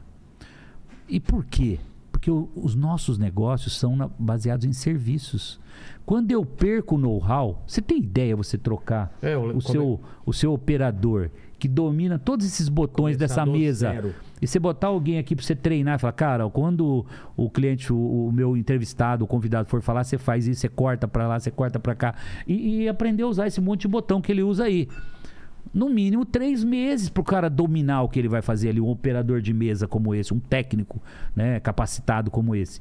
A mesma coisa, se eu perdesse os meus colaboradores, quantos anos eu ia levar para formar 4 mil vezes média de 10 mil, 15 de 10 a 15 colaboradores, no mínimo em média? Estou falando de 50 mil colaboradores diretos. Nossa. Como é que você capacita esse povo todo? Formar É fisioterapeutas, vai formar professor, formar, né, para entregar os serviços, para formar os dentistas, capacitá-los para entregar o modelo Odonto Company. Ou seja, né, todas essas decisões eu usei todos os meus 30 anos de experiência no mundo do empreendedorismo e as crises do passado, né, o plano real, e teve outros planos depois. Teve Cruzado. Teve vários né? planos depois. E eu usei tudo isso, então, no- nessa pandemia para acelerar, inclusive, a digitalização das empresas. Como é que faz com uma escola que fechou e não pode receber os alunos? Gente, professores, vão para frente do Zoom, vamos para as plataformas digitais e vocês vão ministrar aulas agora à distância. Vamos levar conhecimento pelo online para os alunos. Nós conseguimos ainda manter 60% do alunado e receber 60% da nossa carteira. 60%? 60% em plena pandemia. Escola fechada, o aluno pagava e o aluno assistia a aula online. Ou seja, foi o desespero, na verdade, né, de um Claro. momento único, ímpar na, na- na nossa sem, vida Sem precedente. e que nós usamos, né? Vou te dar um outro exemplo. O L'Entrecôte de Paris só era viável antes da pandemia numa cidade que eu pudesse levar o salão. Ou seja, montar um restaurante com mesa, com cadeira. Sim, sim. A gente chama o restaurante lá com salão. Beleza. Por quê? O investimento é alto, prato único. Você só tem o, o, o, o entrecote com molho secreto e a batata frita. Só- e um mix de sobremesa maravilhoso lá. Como é que eu monto, eu viabilizo um prato único numa cidade que ela, o cliente só vai comer uma vez por semana, de repente? Então era inviável. A pandemia nos mostrou que através do delivery, que acelerou, que foi o digital É. nos restaurantes, a gente começou a abrir delivery do L'Entrecôte de Paris no Brasil inteiro. Hoje são 35. Foi na pandemia que começou A gente mais que dobrou de tamanho é, nesse um ano e meio, dois anos de pandemia. Então, o projeto que estava fadado a não ter mais do que 17 restaurantes no Brasil, já são 35 e caminha para ter 80, 90 num curtíssimo espaço de tempo. Nós voltamos a crescer, nós reacendemos a chama do negócio porque viabilizou. E sabe né? por quanto? É. Com 180 mil reais você monta hoje em qualquer cidade do Brasil um né, delivery. um delivery do L'Entrecôte de Paris. E com viabilidade. Com viabilidade. Né? Enfim, eh, você vê que quando você tem essa história, né, eh, vamos dizer, acumulada, né, esses 30 anos aí apanhando realmente, se desenvolvendo no mercado, mas ao mesmo tempo sendo melhor, você está preparado para esse momento de crise, né? E graças a Deus a gente saiu e saímos muito bem nessa aquele, pós-pandemia. tem que- né? aquele primeiro, é, aquele primeiro susto, né? Depois pensar Sim. e tem que tomar, tomar Isso. decisões, E isso, né? isso se passa, Vilela, para todos os tipos de negócio. Isso vale, eu falo sempre, Não, vale pra gente. vale para o carrinho de pipoca, É. vale para banca de água de coco, né, lá na praia, vale para para tudo, para lanchonete, para e para um negócio grande. Tudo que a gente falou e discorreu aqui é, passa por todos esses é, é, aprendizados, né? Com certeza.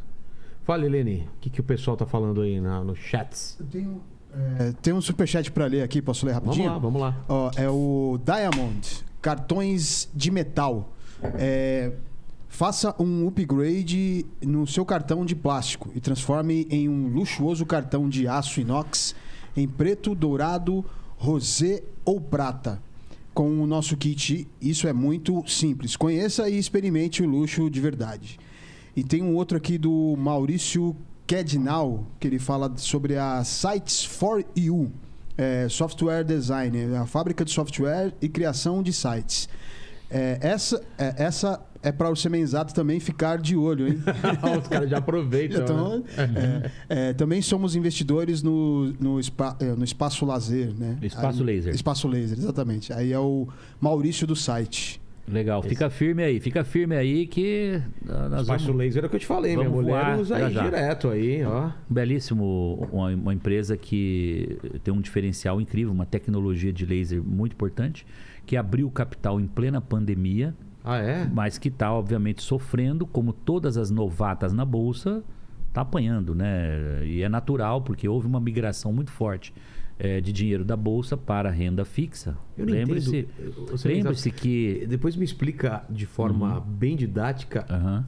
por que, que uma empresa ela abre o capital na bolsa? Qual é a vantagem? Sim, Em sim. que momento que ela faz isso? Sim, pode- sim, a pode gente, vai, a gente pode falar um pouquinho sobre isso. Então, você, por, por ter aberto o capital num momento que a taxa de juros estava 2% ah, no Brasil, 2%. E a gente termina o ano de 21 com a taxa sinalizando 10, 12. Compreenda bem. O dinheiro que não tinha remuneração no CDB, na- não- o seu dinheiro aplicado não rendia nada, literalmente. Então era maravilhoso você comprar ações de uma empresa naquele momento, qualquer dinheiro que você tivesse, tá? Aí o juro sobe. Exato. Mas assim, de, jane... de fevereiro a dezembro, eu não estou falando em dois anos, três. Coisa de medo. Ele sai de 2 e vai para 10, 12. O que, que acontece? Todos os fundos que estavam em bolsa e etc., o você quer tirar seu dinheiro dali, porque esse dinheiro vai demorar muito mais do que os 10, 12% ao ano que o CDB está oferecendo. Então há uma migração de dinheiro, a bolsa desaba. Isso é um efeito um pouco mundial também, tem outros, Claro, tem outros tem fatores. outros fatores. Eu que não sou economista, mas estou falando um pouco da vida real, de como ela é, né? E aí isso há uma migra- migração natural. Então nós temos que ser nesse momento resilientes para vencer esse momento de macroeconomia muito ruim no mundo todo, né? Os combustíveis subindo e gerando inflação no mundo todo não é um efeito Brasil. Não, não, a Importante tá entender acontecendo, isso. Claro.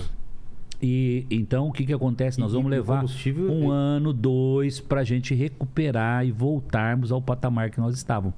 Então, nesse momento, o que, que você tem que fazer? Ficar, ficar, ficar. Não é hora de você vender suas ações a preço baixo. Você tem que segurar para que já já esse efeito vai passar, os resultados vão voltar de forma acelerada, a economia vai voltar a prosperar e naturalmente o valuation da companhia vai aparecer de novo. Então tem Que muitos tem efeitos. pânico, né? O pessoal vai É, mas é o efeito manada. É.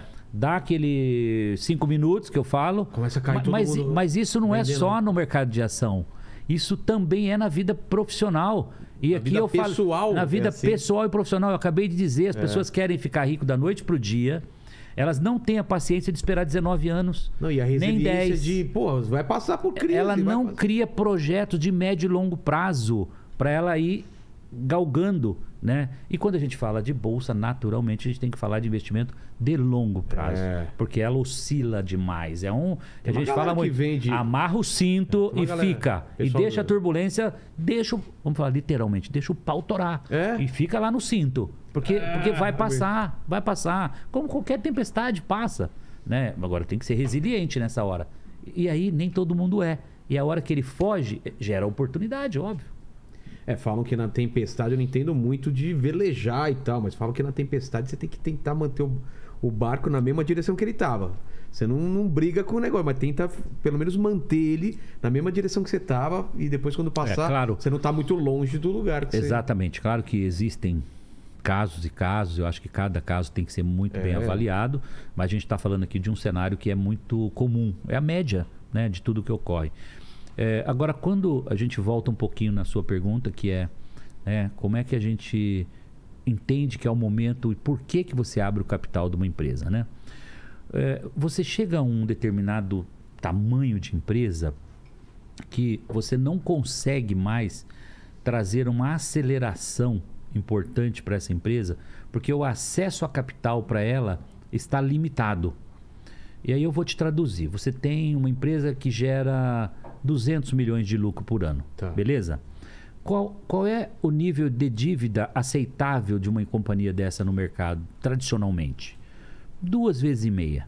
Ah, é? Então, se você gera 200 milhões de lucro, você pode se endividar em até 500 milhões Tá. para você crescer, para você montar novas lojas. É aceitável. É aceitável até duas vezes e meia o que você gera de lucro. Eu vou falar lucro aqui para ficar mais simples, porque se eu começar a falar linguagem aqui Técnica. técnica não faz sentido. Então Tá. vou chamar lucro, mas alguns estão ouvindo sabem que é EBITDA, que é um, é um, é um lucro antes do imposto de renda, antes das depreciações, né? Ele, ele vem um pouco acima. Entendi. Mas eu vou chamar lucro aqui que tá, todo mundo vai entender. Tá. Gero 200 milhões de lucro, eu posso me endividar, alavancar a empresa em até 500 milhões. Chega um momento que você precisa de um capital maior do que esse. Eu preciso de um bilhão para executar determinados projetos. Hipoteticamente, montar 100 lojas novas. Preciso de 100 milhões, 200 milhões. E como eu já estou tomado com aqueles 500 milhões, então eu vou ao mercado de capitais e vendo uma parte da minha empresa para os, os acionistas, os investidores na bolsa, né, que é o IPO, que é nada mais é do que uma abertura de capital inicial da sua empresa. E nesse momento os investidores compram ações da sua companhia. Na- na- Esse dinheiro vai para o caixa da empresa para ela executar os projetos prioritários. E é aceitável também que, nessa abertura de capital, os sócios queiram vender um pedaço da empresa com o dinheiro que vá para o bolso deles. Então, hipoteticamente, ele capta 1 bilhão, 500 milhões vai para o caixa da empresa para executar os projetos e 500 milhões vai para o bolso dos sócios. Tá. Esse é um modelo, né? E eh, cada empresa desenha esse modelo com seus assessores, com os bancos que ajudam a montar todo esse plano, esse planejamento, e você então abre o capital da sua empresa.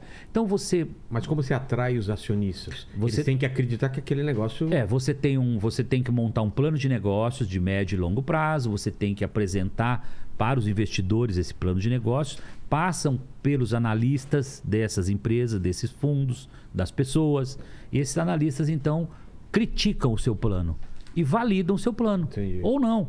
Eles podem falar: "Não acredito no seu plano. Não vou comprar a sua empresa". E não compram e o seu IPO não sai. Ou eles falam, eu comprei o seu, o seu plano, adorei o seu plano, e aí vem um efeito em massa, que aí Entendi. há uma hipervalorização das ações da sua empresa. Porque tem muita gente querendo e é limitado o número É. de ações que você pode ofertar. Então, eh, isso ocorre todo dia no mercado de capitais, né? É uma oscilação muito grande. E aí você tem efeito pandemia, você tem efeito macroeconômico, tem uma série de fatores, né? Então cada empresa sofre e sente eh, essa tempestade de, de alguma forma. Né? Mas o- a abertura de capital é uma forma de financiar o crescimento da empresa. Entendi. Preferencialmente. Preferencialmente. É. Mas dá para uma empresa ser gigantesca sem abrir o capital? Totalmente, Ah, totalmente. Você pode ter Tem um plano. um exemplo? Um exemplo, algumas famílias de empresários brasileiros, eu não vou citar nomes aqui, mas centenárias aqui, Tá. que são companhias que a maioria não abriu o capital Ah, da é? empresa. é? Tem o controle total na Tem o controle, cresce, é uma forma mais orgânica, você leva mais tempo para crescer, porque você não acelera o seu, Entendi. você não aliena cotas, né, para o mercado, você não entra capital novo e são comedidos e vão crescendo organicamente. Com o lucro, esses 200 milhões que gera de lucro, ele vai crescendo na medida que vai gerando lucro. Tira pouco lucro para o bolso dos sócios e reinveste a maioria do lucro na companhia. Entendi. né? Então são tem muitos modelos, não tem certo e errado. É, é, é muita estratégia né, por trás de tudo isso. É o momento certo de você, às vezes, comprar um concorrente, de você fazer um- um- uma abertura de capital para comprar um outro player no mercado importante e, e aumentar o seu, o seu share de mercado, o seu domínio, né? É porque tem várias opções. né? Você pode comprar Muitas. e absorver e transformar na mesma marca ou pode continuar. Continuar. Eu tenho, por exemplo, o Don't Company, É. compramos a Oral Sim e mantemos. Elas são competidoras no mercado. Por que que... Qual é a decisão de juntar ou continuar Quando separado? elas têm DNA diferente. Ah, Então, quando você olha para uma marca, o Don't Company, que atende, ela é, ela é, é generalista.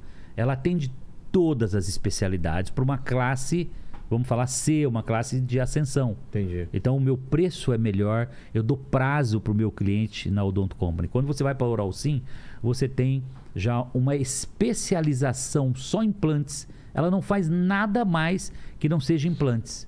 Então, ela se especializou nessa vertical da odontologia. Quando alguém pensa em E- implante, vai pensar e- e nessa tem, marca. Tem uma outra vertical que se especializou só em ortodontia, que é a correção Sei. E hoje com os Invisalign, com né, as, as- a- o- até os, os corretores é, dentais é, invisíveis, né? né? Que são muito modernos, não mais com, com os brackets da É, eu vida. fiz onde- com esse daí, é, esse- sofre muito, sabe, né? é. Então, bom, então é, é- é essa evolução, é- essa estratégia, eu, eu compro e mantenho os DNAs em separado, porque senão você vai comprar mais do mesmo, né? Se você comprar uma empresa que ela compete igual, ela faz a mesma coisa que você, não tem muita geração de valor nisso, né? Até você tem até um problema, você tem uma sobreposição. Você pode ter duas marcas, uma do lado da outra, brigando entre si. Um aqui não. Nesse modelo que eu estou falando aqui, não, porque Tá. são especialidades diferentes, né? E é o modelo que a gente tem crescido nessa área de odontologia. Então, para cada negócio, por exemplo, Oakberry, né? Vamos É. contar um pedacinho. Oakberry é uma empresa de açaí, um produto brasileiro, que está em 40 países hoje. E sempre que 40 países, sempre quiosques. Raramente uma loja flagship, quiosque, é. bonita tal, né? Mas a maioria quiosques. Nos Estados Unidos já existem várias lojas, Tá. tá? Mas muitos, a maioria absoluta quiosques. Já são mais de 500 quiosques em 40 países. Um negócio que está se comportando muito bem na Arábia Saudita, em Dubai. Engraçado, quando, a primeira vez que eu vi o, eh, a Oakberry, eu falei, cara, será que uma coisa tão específica dessa tem espaço? Você vê? Não é? E, e o que é interessante, hoje o nosso faturamento eh, fora do Brasil já é maior do que o faturamento no Brasil. A aceitação, então, do O açaí... faturamento é- em dólar, primeiro em dólar, em euro, né? É, você faturar, você tem muito valor agregado, né? Você gera muita margem. Então, isso tem um efeito muito importante. A internacionalização para determinados produtos que são, é, eu diria, aceitos lá fora, é um caminho fantástico de você gerar receita em dólar ou- em euro. Né? Que você gerar receita numa moeda forte. Claro. É, mas não é todo o negócio do Brasil que você deve sair internacionalizando. Eu sou um pouco crítico a isso. Você só deve ir para fora do Brasil quando você tiver, primeiro, dominado o Brasil, preparado para enfrentar o desafio da internacionalização, né? E você tenha certeza que o seu produto ou serviço ele é, ele vai ser aceito lá fora, né? Porque do contrário, muitas empresas cara. já aventuraram E vai atrapalhar perderam o mercado nacional. porque também. você perde o foco aqui. É. Se você tem muito para crescer aqui, não faz sentido. E às vezes eu vejo, né, com, mui- com pressa, muito né? respeito eu falo isso, né? Nunca é, criticando pejorativamente, de alguém que está começando, tem, vamos dizer, meia dúzia de lojas no Brasil. Não, eu abri uma operação nos Estados Unidos, eu abri uma operação na Europa. Só quem foi e já quebrou a cara sabe o que, significa isso. É. Né? E porque, porque você perde em dólar, você não vai perder em real. Exato. Pode Né? E você vai levar comer- 10 anos para recuperar no Brasil, dependendo do seu prejuízo. Putz. Seu prejuízo lá fora, você leva 10 anos para recuperar aqui no Brasil. Entendi. Então, enfim, e- essa dica é importante também. Né? Na hora de internacionalizar, faz muito planejamento, muita pesquisa de mercado, né? visita o mercado local, vai entender a con- concorrência para você não aventurar num sonho maluco né? e É porque quebrar às a vezes cara. a né? pessoa vai só pela emoção, né? Exatamente. Quanto de emoção e quanto de razão você acha Hum. que, que tem que ter? Eu, você vê, ó, naquele momento que eu fiz a transformação da Microlins, o momento que eu fui pro tudo ou nada, eu fui assinar uma fatura da televisão que eu poderia acertar e virar o que eu virei hoje, né? Enfim, nunca mais parar de crescer. Ou poderia Ou ter... poderia ali ter vendido meu carro e voltado, cara, É. falar, cara, quebrei, sei lá, de novo, porque deu errado e não deu certo. Então, a emoção ali, ela, ela era maior do que a razão.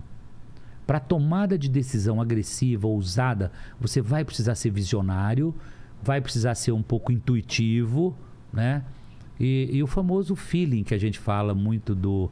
eh, a- a- os, os- os- grandes administradores hoje, os modernos, não gostam muito, né? Aquele, até do, do, da palavra feeling. Termo, né? Mas o que, que é feeling? Feeling nada mais é do que a experiência vivenciada no passado que você traz para o presente e te ajuda a você tomar uma decisão hoje.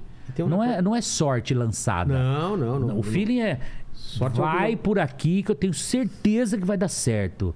Tá, tá claro, tem uma, tem uma luz verde aqui acesa, tá? Ó, Olha lá, tá verde aqui, ó. Parece que E aí eu olho pra cá, tá vermelho, olha o vermelhão aqui, ó, não vai aqui que vai dar errado. Essa, essa é a nossa decisão. É- Essa é uma pouco da visão de futuro. E quando eu junto isso com a tecnicidade, que é o quê? leitura de... O plano de negócios, que é o quê? A pesquisa, que é o quê? O NPS, satisfação do cliente.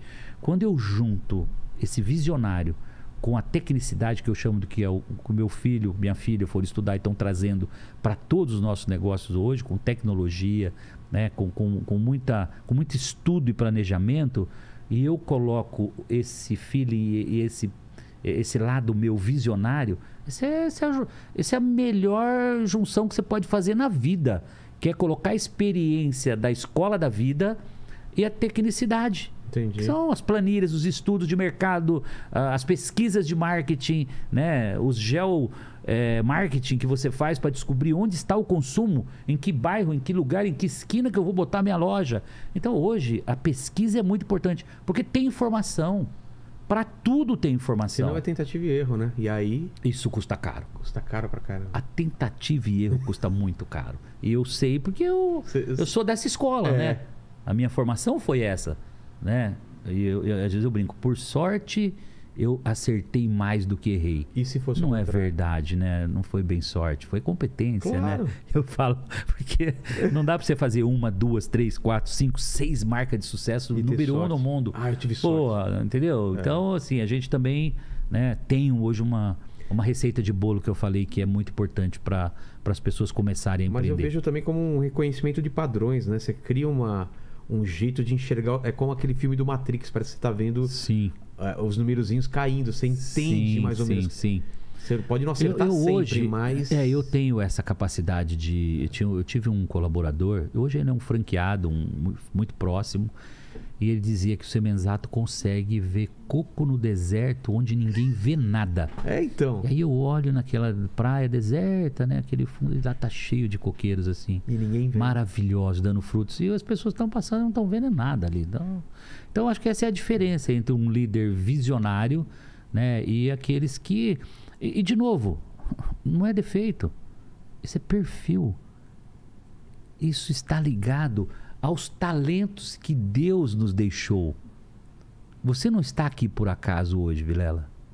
Você está aqui com uma missão de trazer as pessoas para contar as suas histórias e transformar e melhorar a vida das pessoas. Você está levando educação corporativa, você está levando aprendizados que não têm preço, que nem sempre as faculdades vão conseguir ensinar É essas receitas vivenciais. Então, o Semenzato também tem a sua missão, o seu propósito. E eu uso ou procuro usar a minha inteligência, né? Ilimitada. Olha aí, ó. Mas sem exato, antes de falar do Shark Tank, eu queria, uma dúvida que eu tenho. Eu, ah, eu vou falar do meu caso. Aham. Não sei se você vai concordar ou discordar. A pessoa, para montar um negócio, aquilo que ela vai montar tem que fazer parte da vida dela de alguma forma, ou ela pode começar um negócio que ela não faz a menor ideia que não tenha nada a ver com ele. Porque na minha vida, tive escola de artes, tive algumas coisas que eu fiz durante a minha vida, mas sempre tive relacionado com um pouco de conhecimento que eu falei, não, eu sei o que eu tô fazendo. Aham. Eu poderia, por exemplo, como você falou de lanchonete, pô, não entendo nada de lanchonete. Vou abrir uma lanchonete do nada, ou vou, mesmo que eu estude e tal, é mais difícil, é possível, ou é, é sempre bom a gente partir de alguma coisa Cara, compra uma franquia. mesmo que não tenha nada a ver comigo? Nada a ver, mas você vai receber todo o treinamento, e se- capacitação. Agora, eu vou te dar um exemplo prático, então. Tá. Quem o Semenzato era até os seus 23 anos de idade? O melhor programador e analista de Isso. sistema. Você sabe o que faz um programador e um analista de sistemas? Ele fica trancado dentro de uma sala igual um nerd, desenvolvendo programas de computador. Números e Você tem ideia? Se você imagina que eu poderia estar até hoje, com 54 anos de idade hoje, sendo um programador de computadores e um analista de sistemas grisalho, o melhor desenvolvedor de O software. melhor de- Eu não sei, talvez viraria uma TOTS, uma Microsoft, É. não sei. Também poderia, tá? Poderia. E- e só que, criando assim, a partir disso, Mas né? aí, cara, eu fui empreender. Da noite pro dia, deu um clique. Aí você fala assim: você estava preparado para empreender? Não, eu era programador. A minha vocação até aquele momento estava para desenvolver software de computadores. ficar conversando com a tela aqui, fazendo, fazendo rotinas de programação, fazer o computador fazer uma tarefa. Então eu programava ele para ele executar alguma coisa. Calcula essa folha, calcula essa contabilidade, calcula esse estoque. Então eu dava, eu comandava o computador, eu, eu ensinava ele como fazer uma rotina, né, através da linguagem de programação. Claro. E aí eu viro o, o melhor, o maior vendedor, vamos dizer, um dos melhores vendedores do Brasil. É. Vendendo franquias, vendendo curso, vendendo sonhos, vendendo né, propósitos, vendendo tudo aquilo que o meu portfólio hoje, vendendo transformação de vidas. São mais de 10 milhões de sorrisos transformados. São mais de 4 milhões de jovens colocados para trabalhar no mercado de trabalho através da Microlins. São mais de 2, 3 milhões de mulheres que nós colocamos nos salões de beleza para trabalhar no Brasil. Elas viraram empreendedoras, montaram seus salões, hoje elas levam renda. As minhas empresas têm muito propósito. Isso é transformacional. Grandes poderes. Concorda? grandes respo- Responsabilidades. E, e- e graças a Deus, tudo isso voltou para mim sem eu correr atrás, sem eu. Volta na proporção do que eu ofereço de oportunidades para as pessoas. Entendi. E o, e o Shark Tank, como que aparece na tua vida? Cara, e assim, parece que eu já estava dentro de um, de um Você tá tanque. falando- é, você- Concorda? É, você já tava buscando... Três empresas né, É. investidas, é, entrevistando negócios todos os dias, desde a época lecionando, estava ouvindo os anseios dos alunos, Radar ligado. trocando, dando coach e tal, radar ligado nas oportunidades do mercado. Quando eu recebi o convite da Sony, foi incrível, né? Claro. E tem uma competição, tá? Não- ela não é assim totalmente é, é, visível para quem está de fora. Não é um convite, ó, vem para cá e começa não? amanhã. Não, você tem, você vai para o estúdio, você faz um teste Ah, tá. câmera, comportamento, te dá um case para você discorrer. Então é uma coisa assim, você está sendo visto, o pessoal de Miami, da Sony, acompanhando sua desenvoltura. Né? Aí entra tudo, a minha preparação. Claro. Claro, não, não tenho o melhor português eh, do mercado, mas o suficiente, né? é, vamos dizer, para ter meus 90% ou mais de uma, de uma língua portuguesa próxima, né? não é perfeita, mas ela é próxima. É, e aí, matemática, pô, fui, sempre fui um dos melhores alunos de matemática. Ah, essa era bom. Amo. Dis- Discutir números é comigo. Putz, e não é, discuta comigo o número, porque É vai mesmo? perder. E assim, eu tenho os, os números macros, eu falo todos aqui para você. Minha memória não perde um.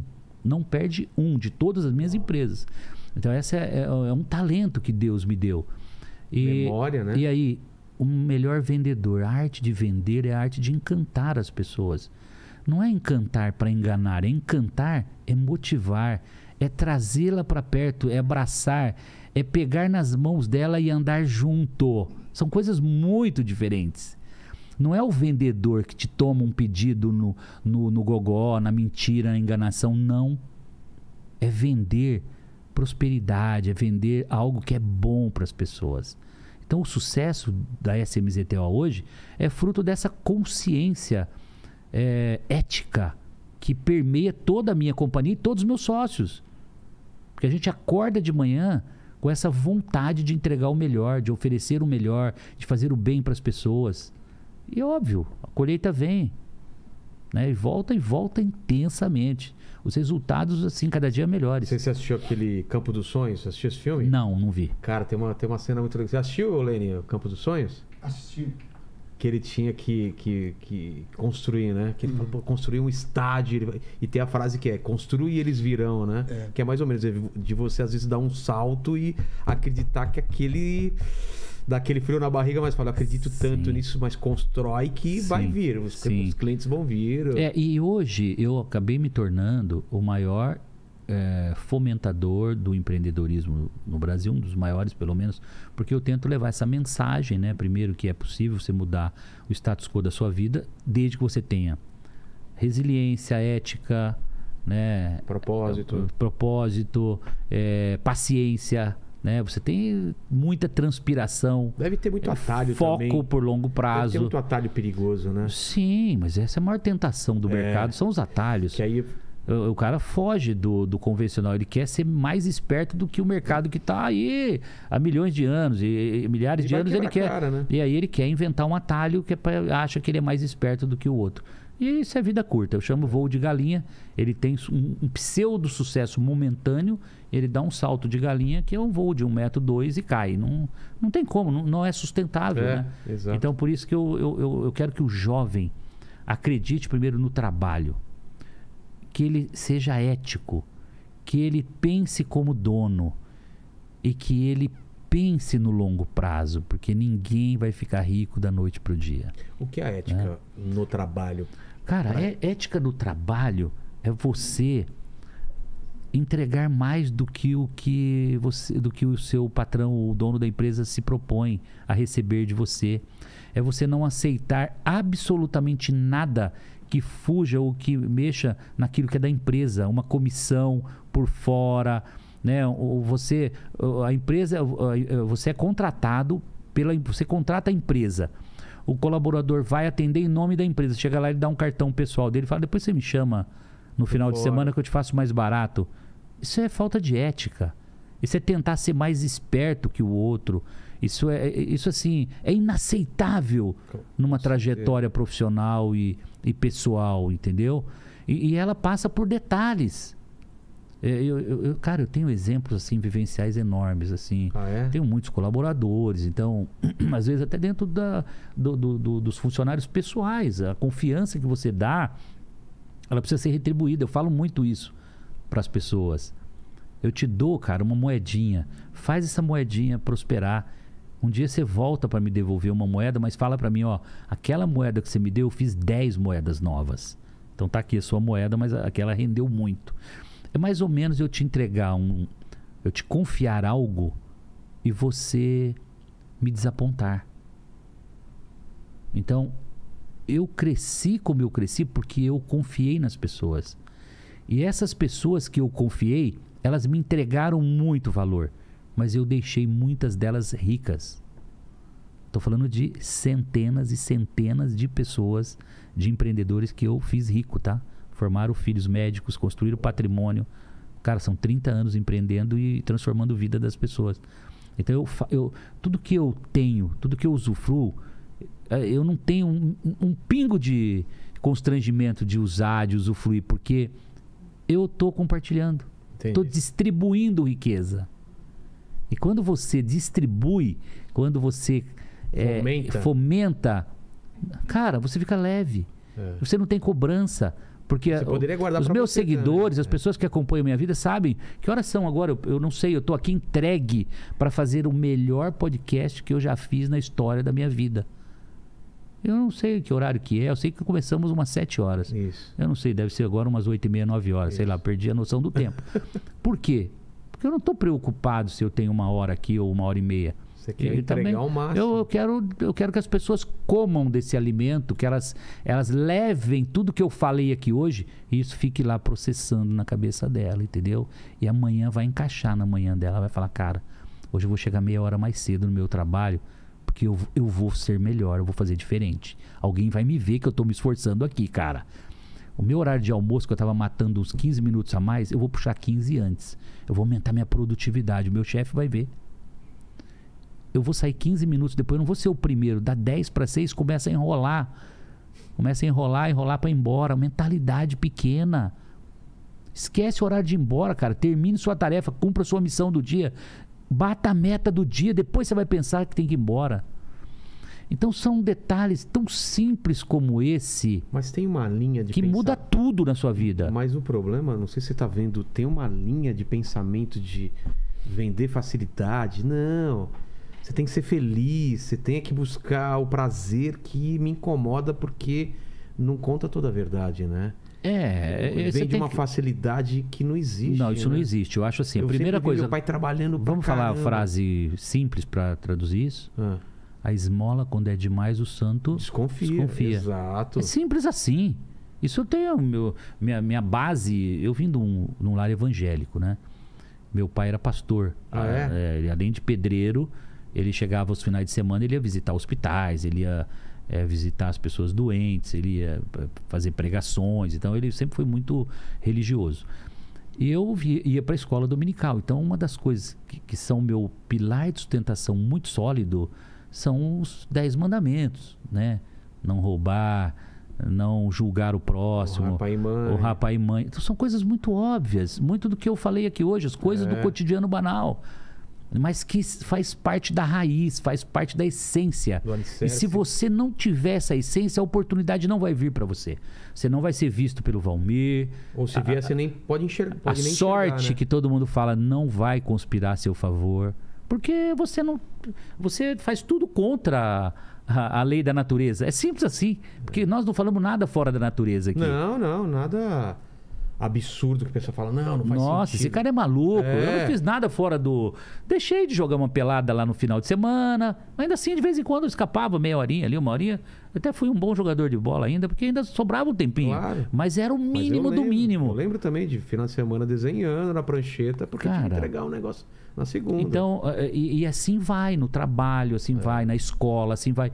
É uma coletânea. Você, você nasce e tem que estar uma- se preparando. Meu, meu pai sempre falou que nada resiste ao trabalho, e eu posso dizer que é verdade isso daí, cara. O trabalho, ele, ele derruba um monte de, de, de, é, dificuldades que você possa ter, né? Claro que a Nossa. gente não tá falando de gente que tem muita dificuldade, tem uma tem alguma limitação, mas a gente tá falando que se você trabalhar mais, dificilmente É. você não vai... Nós demos uma volta enorme e eu vou voltar para dentro do tanque dos tubarões agora. É. Cara, no momento que eu senti que eu já estava, né, agindo como um tubarão e veio o convite, participei desse processo e, e foi, fui aceito, né, para ser um Shark Tank Brasil, né, e foi um presente, de verdade, para mim. Eu falei pro pessoal da produção e pra, pra Sony, falei, cara, vocês não têm ideia, isso aqui, vocês só vão me tirar daqui agora. Vocês vão ter que me dar cartão vermelho aqui, porque eu não vou sair daqui desse tanque, porque aqui é meu ambiente natural. Você se sentiu muito em casa. Eu tô muito em casa, porque eu primeiro tô ouvindo histórias inspiradoras de empreendedores e eu me vejo no lugar deles. É, isso é Cara, eu tô vendo um né? cara contando uma história em meia hora ali que eu vivi toda ela inteirinha. Então passa um filme na cabeça e eu brilho vendo. no olho do, Eu, eu me coloco no lugar dele e eu consigo rapidamente entender se ele tem sangue nos olhos, se a proposta dele é de longo prazo, se tem consistência, se o mercado quer ou não, se aquela dor é importante ou não. né? Enfim, é muito rápido para eu entender né, se aquilo tem realmente uma chance de escalar, se dá para fazer franquia. Né? E aí tem, obviamente, uma segunda fase, que é a hora que você coloca uma opção de investir e você vai aprofundar. Sim. E no momento que você vai se aprofundar, você vai olhar o plano de negócio profundo, você vai visitar a loja, você vai ver o negócio, você vai ver o quanto de preparação tem. Às vezes alguns não estão tão preparados, né? Não são todos que acabam recebendo a chancela e o investimento. Mas na medida do possível a gente quer, obviamente, nós vamos com vontade de investir. Mas nem sempre o empreendedor ou o negócio dele está maduro o suficiente para receber o investimento. Porque tem negócios que não é o dinheiro que vai fazer a diferença. Ah, Tem negócio que depende de transpiração, depende de entrega, tem um depende. exemplo na sua cabeça? Cara, tem um monte. É.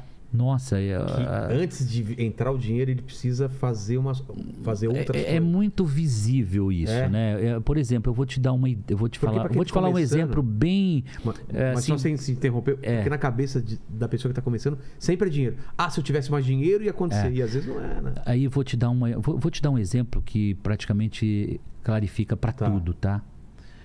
É, o empreendedor tem ideia de fazer um terno, tá?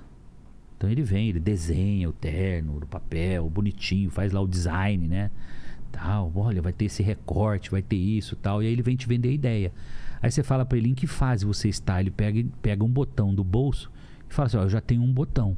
O que, que significa esse botão para ter esse terno pronto Nossa. de uma ideia, de um rabisco, de um design que ele fez apenas. Então a maioria das pessoas tem muitas ideias, mas até transformar essa ideia num projeto concreto é muito dinheiro, é muito teste, é muita experiência.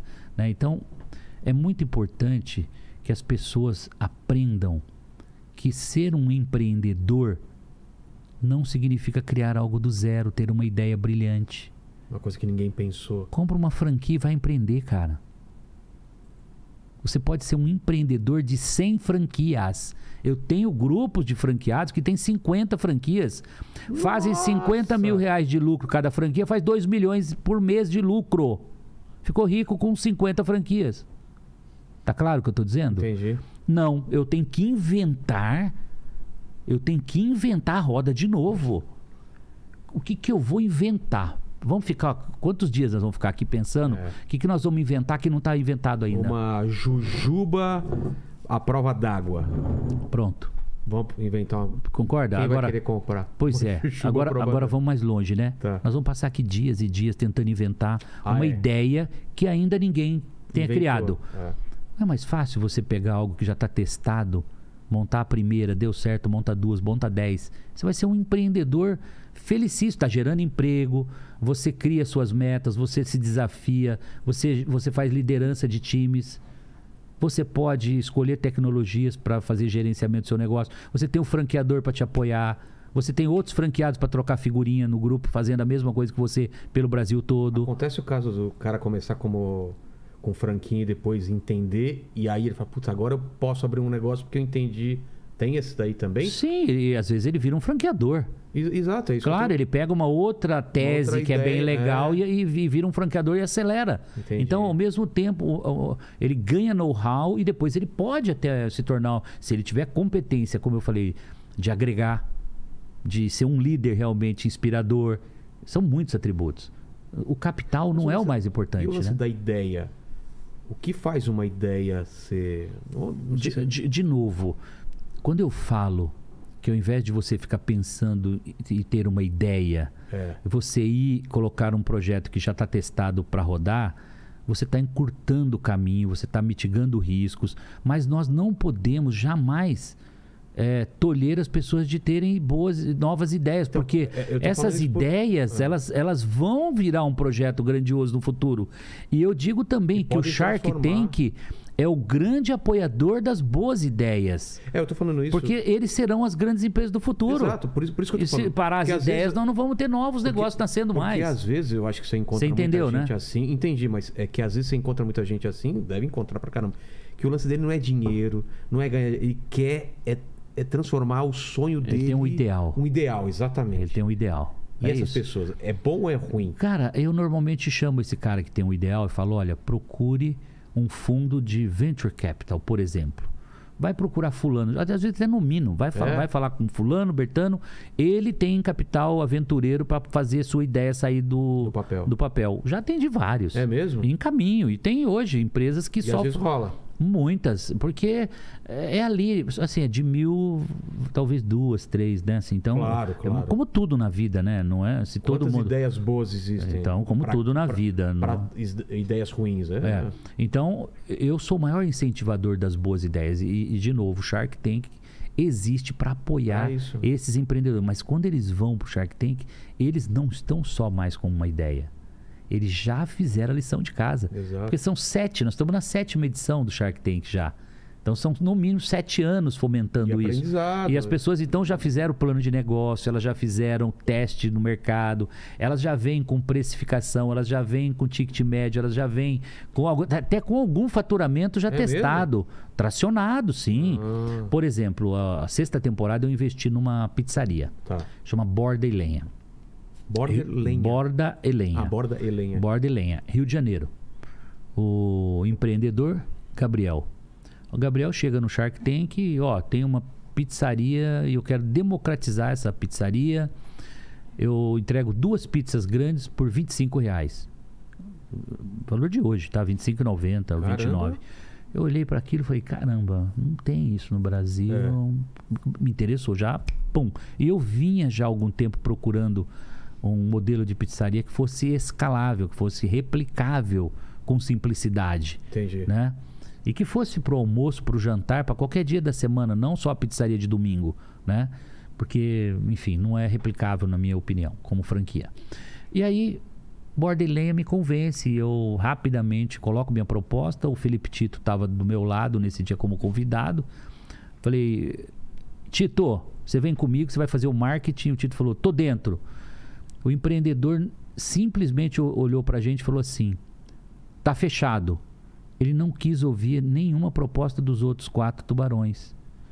O que, o que, o que eu trago né, de exemplo aqui? Ele estava já com a cabeça dele concebida que ele gostaria de fazer franquia, que o Semenzato seria o sócio ideal para ele, E na primeira proposta que eu fiz, ele falou: tá fechado. Porque E os outros Sharks gritaram, todos. ei, cara, ei, você não, não vai ouvir, pro- é. você não vai ouvir minha proposta, cara? Que isso? Que isso? Ele falou: não, você é louco, cara, eu sei mensato, cara. então foi um negócio assim. O que, que eu quero dizer também com isso? Cara, isso aqui é premiação. Isso aqui É um pedigree, né? é massagem pro ego também de quem trabalhou, de quem batalhou muito, de quem trabalha 24 horas por dia ali para entregar o melhor, né? Então não foi só o Gabriel que ficou feliz porque vai ter o Semenzato e tem o Semenzato de sócio. E o que é legal, um projeto como esse andou, cara. Em 90 dias já estava vendendo franquias. Já estamos implantando umas 10, 20 franquias pelo Brasil. Pra É. ter pizza barata, assim. Cara, ele, te- ele começa com R$ 25,90, com poucos ingredientes, e, e só que o ticket médio dele é 55. Ah, entendi. Por quê? As pessoas começam a enriquecer na hora do pedido. Mas se você quer, tem lá X% não tem dinheiro, de cliente que compra aquela, porque é a democratização da Exato. pizza mesmo. E assim foi, uma qualidade Pô. incrível. Estamos replicando para o Brasil inteiro essa pizzaria. Sabe qual é o investimento, Vilela? 90 mil reais. Que? 90 mil reais. Só? Ele vai levar de 5 a 10 mil reais de lucro líquido para casa. Com 90 mil de investimento. Se paga em 12, 15 meses no máximo, vai. Claro. Tô sendo aqui conservador, tá? Vai se pagar em muito menos tempo, mas eh, eu nunca gosto de Entendi. ficar prometendo que a gente não vai entregar. Então, um belíssimo negócio para invadir a periferia do Brasil. 90 mil, cara Pizzaria, e... forninho, uma coisa Tá. simples e só delivery, tá? Claro. só delivery. Ou seja, uma operação simples. Não é uma operação complexa, salão, muitos funcionários, gestão, horário, né? enfim, licenças. Você Entendi. tem um- uma operação muito mais enxuta, né? muito mais, eu diria, ah, viável. Então as coisas funcionam assim. E Shark Tank, assim como todo programa desse tipo, tem os- as coisas engraçadas, tem as, a- a- os caras sem noção, assim. Você lembra de alguma história desse tipo de coisa? Tem, tem. É, é Mas muito- isso, isso é, é, Então, mas é sabe porque a pessoa ela não fez o dever de casa. Hum, tem de tudo um pouco, né? Eu, eu acho assim, o que está acontecendo, né? Isso aconteceu muito na primeira, segunda, claro. terceira temporada. Tá muito difícil você dar um, eu vou falar aqui, um sabão no empreendedor como eu fiz alguns na quarta temporada. Ah, é? Porque, cara, depois que o, a audiência, né, os empreendedores veem o sabão, E por quê? porque o cara não fez a lição de casa minimamente, ele não sabia o ticket médio, ele não sabia quanto custava o produto ou o serviço dele, O ele não básico, sabia né, qual era a meta para ele faturar o ano que vem, ele não sabia quanto ele vendeu o ano passado. Então, peraí, você opera que negócio? Você está na lua? Onde você está? Então, assim, eu cheguei a chamar a atenção de alguns de forma educada, como sempre, com muito respeito, né? Porque eu vivi aquele momento. É. E aquele momento eu também não tinha esses atributos. Planejamento, hedge do dólar, que era se proteger contra uma explosão do dólar. Então nós temos que perdoar também alguns erros deles. Mas nós precisamos criticá-los de forma dura também para virar aprendizado para o mercado. Claro. O Shark Tank é educação corporativa na veia. Essa é a verdade. Aquilo é uma escola. Né, que ele acaba, quem está assistindo, acaba aprendendo muito e leva para o seu dia a dia Claro. todos os dias. Faz todo sentido. É. Lênis, o que, que o pessoal quer saber aí do Semenzato? Ó, vou ler rapidinho mais um superchat aqui, ó. É, os melhores brindes personalizados aqui na Sum Brindes. Acabou de mandar aqui pra mim. Sun ou Sun? É com S. S-U. Deixa eu ver se é o. É, deve ser Sunbrinds, É, que é o. N, né? Tá. É o Sunbrinds. Uhum. É, a a Luísa, ela tá fazendo uma pergunta que eu acho que vocês já chegaram a falar, mas eu vou fazer Tá. aqui só para ver se falta alguma coisa. Uhum. Ela falou o seguinte, ó, tem uma grana, gostaria de eh, investir em uma franquia. Alguma dica? Aí ela faz uma segunda pergunta. Preciso entender eh, da franquia que estou adquirindo? Foi o que eu falei aqui. Sim, olha só, primeira coisa, né? Eu sempre recomendo é, que você opte por investir em algo que você seja apaixonado, que você goste muito. Por quê? Né? É muito difícil você acordar de manhã durante um ano, durante dois anos, para fazer aquilo que você não gosta. Exato. Tá? Então, vou montar um negócio pet. Você gosta de animais? Nossa, se a pessoa não Entendeu? gosta, vai ser um martírio Então, você ela. gosta É. dos animaizinhos, você curte isso, você se vê dentro de. Então, ah, vou montar uma, uma hamburgueria, eu vou montar né, uma peça rara. Você gosta de, de moda, você gosta de ver as pessoas se provando roupa, se vestindo, enfim, desfile de moda. Então, cada negócio tem um, vamos falar assim, um, Um perfume. um né? perfume, um estilo, e você precisa se identificar com aquilo. Então, a primeira, como que eu respondo aí pra ela? Como é que eu respondo? Tá. entre no site da SMZTO, www.smzto.com.br, navegue nos mais de 10 negócios que a gente tem lá. E você vai perceber, vai ser muito intuitivo. Você vai olhar a educação, você vai olhar ah, o guaco, que é uma comida mexicana maravilhosa, você vai olhar o Green Joy, que é uma alimentação saudável, os wraps maravilhosos. Você vai olhar um Wokberry, você vai olhar o L'Entrecôte de Paris. Você vai passear pelas escolas de gastronomia, escola de beleza. O negócio que brilhar os seus olhos, você vai falar, cara, puta, é isso aqui. Mas, É não- isso aqui, é muito intuitivo. mas não tem a ver com quanto ela tem de grana Não, também? isso é a última coisa. Ah, tá. Eu posso, eu, eu não posso fazer o que eu gosto se eu não tenho dinheiro para aquilo.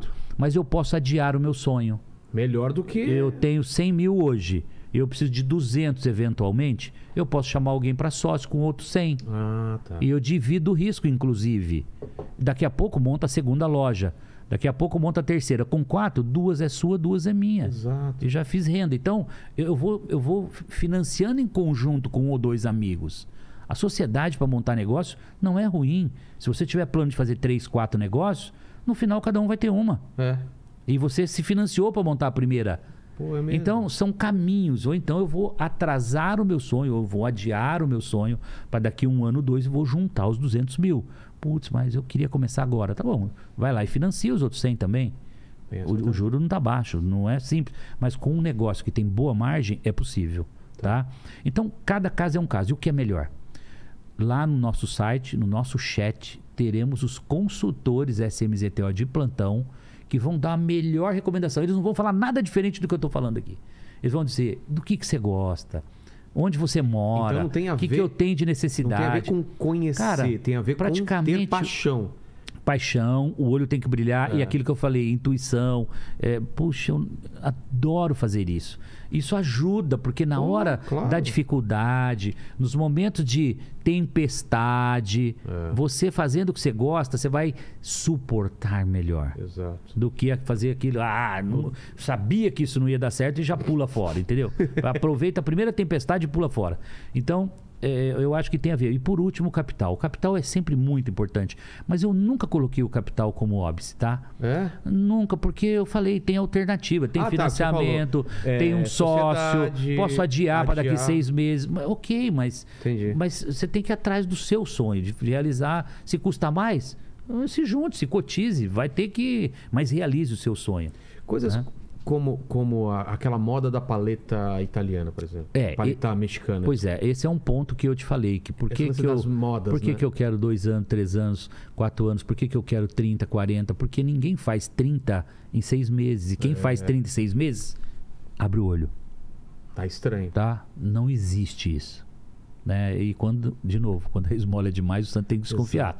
Não tem Papai Noel. O Papai Noel, pô, é no Natal só e é aquela Porque a festa. paleta mexicana, o, o, o ganho era muito alto em pouco tempo. né? É, mu- cresceu muito rápido. E, e- e quando você não entra no costume, na cultura. Então, é por isso que eu falo sempre: se o produto não é desejado pelo consumidor, e não é ser desejado hoje porque é legal. Né? Vamos falar aqui da. Nós compramos o. Agora, esse ano, cara. Assinamos agora, dois, três meses. Dois meses. Compramos o Nanica, que tem o, o Abravanel, o cantor Abravanel, como, como sócio. E ele investiu lá atrás, ele acreditou na primeira loja que os meninos fundaram. E a gente entrou agora já com mais de. Nossa, perdi as contas, mas de umas 17, acho. Umas 17 nanica espalhadas aí, Tá. de, de 15 a 17. E a gente já vendeu 35. Em dois, três meses que a gente entrou lá, a gente já mais que dobrou o tamanho da rede. Mas ela estava há anos se preparando. Nós namoramos um ano e meio para conseguir comprar uma participação no negócio. Então Entendi. é um negócio muito sólido, que já está testado. Onde abrir, Nanica vai arrebentar. Nanica é uma banoffee. É a melhor sobremesa de banana conheço, olha. com doce de leite, banoffee. Eu vou mandar entregar É? para vocês uma próxima experiência Isso, minha aí. mulher adora doce de Anota leite. aí, depois manda para É. eles aqui uma experiência do, do Nanica. Cara, vocês vão pirar. É um, tem a de banana, a banoffee, tem de morango e tem de uva. É. Churros, nossa, tem. Ah, teve a época também da- das Bubbles lá, né? Que é da. é, como chamava? Aquele. aquele- Yogoberry. Não, não. Os Cara, tinha iogurte. quiosque pra tudo quanto é lado. Eram umas bolinhas com sabor. Bu- Bubble. Eu não lembro. Putz, eu não- é, tá Eu vendo? não vou foi, lembrar. Foi é. muito rápido. Mas É por isso, porque É. agora o que, que eu recomendo sempre, né? Nada de entrar em ondas passageiras, né? Eh, vamos buscar coisas que estão maduras, que estão já no inconsciente coletivo das pessoas. Tudo que você tem que criar cultura vai custar muito caro e você não tem recorrência. Você vai ter que convencer pela experimentação, É. você vai ter que fazer promoção, vai ter que dar, doar, vai ter que dar muito desconto, né? Esse é o mundo de você criar cultura. Agora, quando você tem um bom produto, um bom serviço já testado, E já tem essa necessidade. tem, né? tem fluidez, né? Conveniência, preço, atrativo, etc. Entendi. Bom, eu acho que o Cláudio fez uma pergunta que eu acho que vocês meio que já responderam aí também. Olha que, só, que ele fala assim: é, eu consigo comprar uma franquia com pouco investimento? É sim, nós que, que temos. é pouco investimento? É, hoje lá? a menor, a franquia mais barata que a gente tem é essa franquia da Borda e Lenha, 90. que é a pizzaria 90 mil reais. Depois os quiosques da Deixa eu Oakberry, entender. 90 mil reais é tudo. tudo. Taxa de franquia, Tudo, tudo, treinamento, tudo incluso. Capital de giro, equipamentos, é, o estoque Equipamento? inicial, tudo, tudo, tudo, tudo. Tá. Já a primeira folha de pagamento ali dos funcionários, tá tudo aí. Entendi. É, não é alto o investimento. E aí você empreende, você começa com um negócio que tem muita atratividade, já sai voando as vendas. Né? E, e, ah, a coisa do virtual pós-pandemia, de você não ter mais sedes físicas, né? Ou de É. entrega, ou de... Eu, eu, você, tá, você tá vendo eu, algum eu acho que o movimento? híbrido não tá, tá caminhando muito forte para o híbrido, né? É? Eu, eu, eu tenho uma visão que a gente perdeu um pouco de produtividade, tá? Na medida que foi para o online, né? Em que sentido? Eu não falo em todas as categorias. Eu acho que falta cultura e disciplina para o colaborador produzir da mesma forma como se ele estivesse na companhia em casa. Entendi. Tem muita dispersão Pô, né? Ele vai virar o cozinheiro, ele vai cuidar do, da- ele vai virar a babá do filho, ele vai cuidar do cachorro, ele vai é, é dispersão e, e não é porque ele aí eu já diria não é falta de ética, não é é porque é um processo muito natural. Ele vai começar a fazer três, quatro coisas ao mesmo tempo e aí perdeu o foco da empresa. Então não que eu seja contra o modelo de você trabalhar home office. Eu acho que dá para fazer um modelo híbrido com muita cautela e tentar manter a produtividade da empresa. setor, né? É. É porque, de novo, não tem cultura. A educação não foi criada para você, mesmo à distância, ser disciplinado. Você vai Mas eu- escapar, não eu tem Eu jeito. não falei nem tanto do home office que também Você está falando mesmo do, da venda digital de ter mesmo. um negócio digital, que antigamente era uma opção e hoje Sim. parece que não tem outra opção. senão- Todo negócio hoje precisa ter o seu mercado online. Você tem que ter um site online, um e-commerce minimamente em condições de atender o cliente. É. Porque se ele não encontrar uma opção online para comprar o seu produto ou serviço, ou uma plataforma né, de serviço como as iFood, plataformas do é, mercado, é. se ele não tiver essa opção, ele vai comprar no concorrente. Exato, Tá? Então você tem que estar eh, 360 hoje. Não dá mais entendi. né? O analógico hoje vai morrer se ele não digitalizar, né? E não quer dizer que você tem que virar digital total, porque a experiência de compra ainda voga. Eu adoro entrar numa loja, experimentar, olhar, é, pegar. é outra experiência. né? É, não vai acabar. O físico, Opa, é difícil, né? Você é, o analógico, o modelo físico não vai acabar, né? Tudo eu acho, né? De acessório, qualquer coisa. É, a experiência de você ir comer num lugar é diferente de você pedir. Exato. A experiência de, de você experimentar. Então, assim, eu, eu acho que ampliou as opções, mas você não pode dizer que o mundo vai ser online. Entendi. Não é verdade. Porque também vai levar. É uma transformação de, de novo, de cultura, de mindset, de, de consumo, que vai levar 100 anos, 200 Não, e anos, até da sei lá, mil anos é. para se adaptar a esse novo. Estão vindo agora as lojas virtuais, em que você. É quase que real, né? Você dá Ah. um passeio dentro da loja. o- Virtual, o né? metaverso está trazendo exatamente. Eu não tenho nenhuma especialidade nisso ainda. Eu estou. Não, tá em o que embrião eu estou falando ainda é muito de leitura muito rápida que eu faço, né? Então nem posso aprofundar mais do que isso. Mas vem sim um mundo virtual que você vai poder ter as emoções da compra como se fosse presencial, como se fosse ali ao vivo.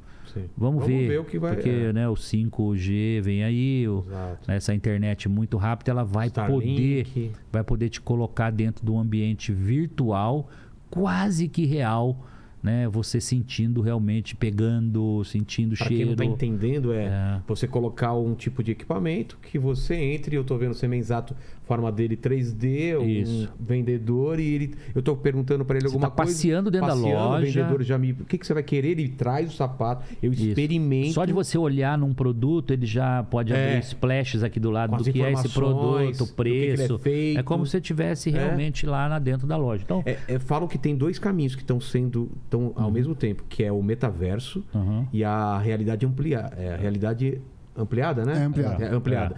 Que esse, inclusive, vai ser muito mais rápido, que é, sim, que é no mundo real eu ter essa, essa- esse- lógico. de eu ver o preço, ver. Perfeito, isso já Pô, existe. eu gosto- gostei desse casaco. Eu, eu posso ver, já vem toda a informação dele, onde você comprou, Isso, tal, tal, isso já, tal. já existe Isso tecnologia para isso já. É. né? Enfim, a gente tem uma, tem uma revolução pela Exato. frente tecnológica é, e, obviamente, a nossa geração vai poder ver isso ainda, tá? Eu acho que Eu acho que os sim. próximos 30 anos a gente vai ah, ver. não, vai ter muita é, mudança. 20 a 30 anos a gente vai ter uma transformação absurda É. e pode ter mudanças de hábitos. É que eu não gosto de pensar muito para mais do que 10 anos. Porque em 10 anos você paga qualquer tipo de investimento que você fizer, desde que seja um bom investimento. Mesmo que mude um o- bom negócio. Daqui 10 anos você ganhou dinheiro, você vai pensar e acompanhar a o evolução. cara da locadora. você mesmo entendeu? Ou daqui acabou- 5 anos, ou daqui 10, entendeu? O cara que montou a locadora lá e, e ficou 10 anos, ele pagou, mesmo que. Ah, não tem mais locadora de vídeo. Simples assim, ele foi É, para outro negócio, outro mas ele já negócio. tinha recuperado o capital dele. Entendi. Né? Agora, pode ficar nessa neura, Um pouco né? diferente de você comprar um negócio que é um modismo que não está consolidado ainda tal. É, né? Todavia, você vê ciclos. Eu gosto de ciclos de 10 anos, eu adoro. Enxergar 10 anos, tá ótimo. Vai pagar um investimento duas vezes ou três. E você vai ter capital para de repente mudar para outro ramo amanhã, se aquele não está mais tão produtivo quanto era há 10 anos atrás. Essa é uma pergunta que as pessoas fazem muito, tá? De ciclo? É, olha, mas você acha que daqui 15 anos isso ainda vai estar? Cara, esquece 15 anos. Se 7 anos te der dinheiro, voltou duas vezes o seu capital, você já tem dinheiro para montar outro tipo de negócio que está em voga daqui a 7 anos. Então também pense, né? Não é deixar de planejar o futuro, mas pensar também em 7 anos, 10 anos, tá bom. Oh, claro. Não dá para pensar mais do que isso. Quando eu criei a Microlins, a primeira pergunta que eles falavam é o seguinte: mas você acha que daqui 5 anos vai ter alguém querendo aprender informática? Estão aprendendo informática até hoje. Eu fundei em 91. É, cara. Isso não vai dar em nada. Eu Entendeu? lembro. Não, faz 30 Muita gente fala anos, negócio de cara. internet não vai pegar. Olha isso, 30 anos e as pessoas estão tendo que se capacitar É. até hoje. Curso de programação, Word, Windows, Excel, tudo, todo Tudo, tipo. né? Aprender a operar os Apple da vida, enfim. Total, que cada vez Pô, tem mais demanda. Cada vez mais demanda, enfim. É, ó, o Pedro Henrique mandou um, um superchat aqui. Ele está dizendo o seguinte: ó, Uma vez um grande, um grande sábio disse: A confiança em si mesmo é o primeiro segredo do sucesso.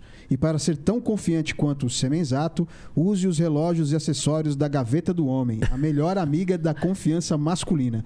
Siga no. Instagram, arroba Gaveta do Homem. Ponto, é, Gaveta É, do Gaveta Homem do BR, é. tudo junto.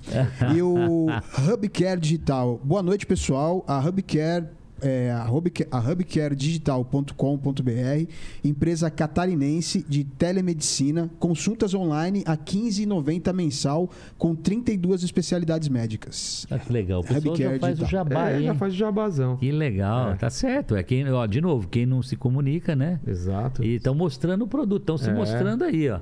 Breve vai ter que pagar, né, para divulgar aqui, né? Já pagam. Estão pagando. Estão pagando. Ó, vai o boleto aí, viu? É, metade aqui, ó.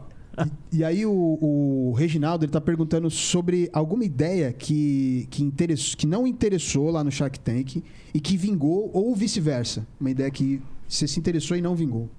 É, pode ocorrer, pode ocorrer. Eu ainda não vi, né? ne- Nesses, nessas três temporadas, eu participei da quarta, quinta e a sexta. Vou gravar a quarta temporada, que aliás a gente começa a gravar ah, sábado agora, tá? E a sétima temporada. A sétima já. É, e eu não, não vi, não tive um efeito desse, de algo que eu não investi, me arrependi porque deu certo demais.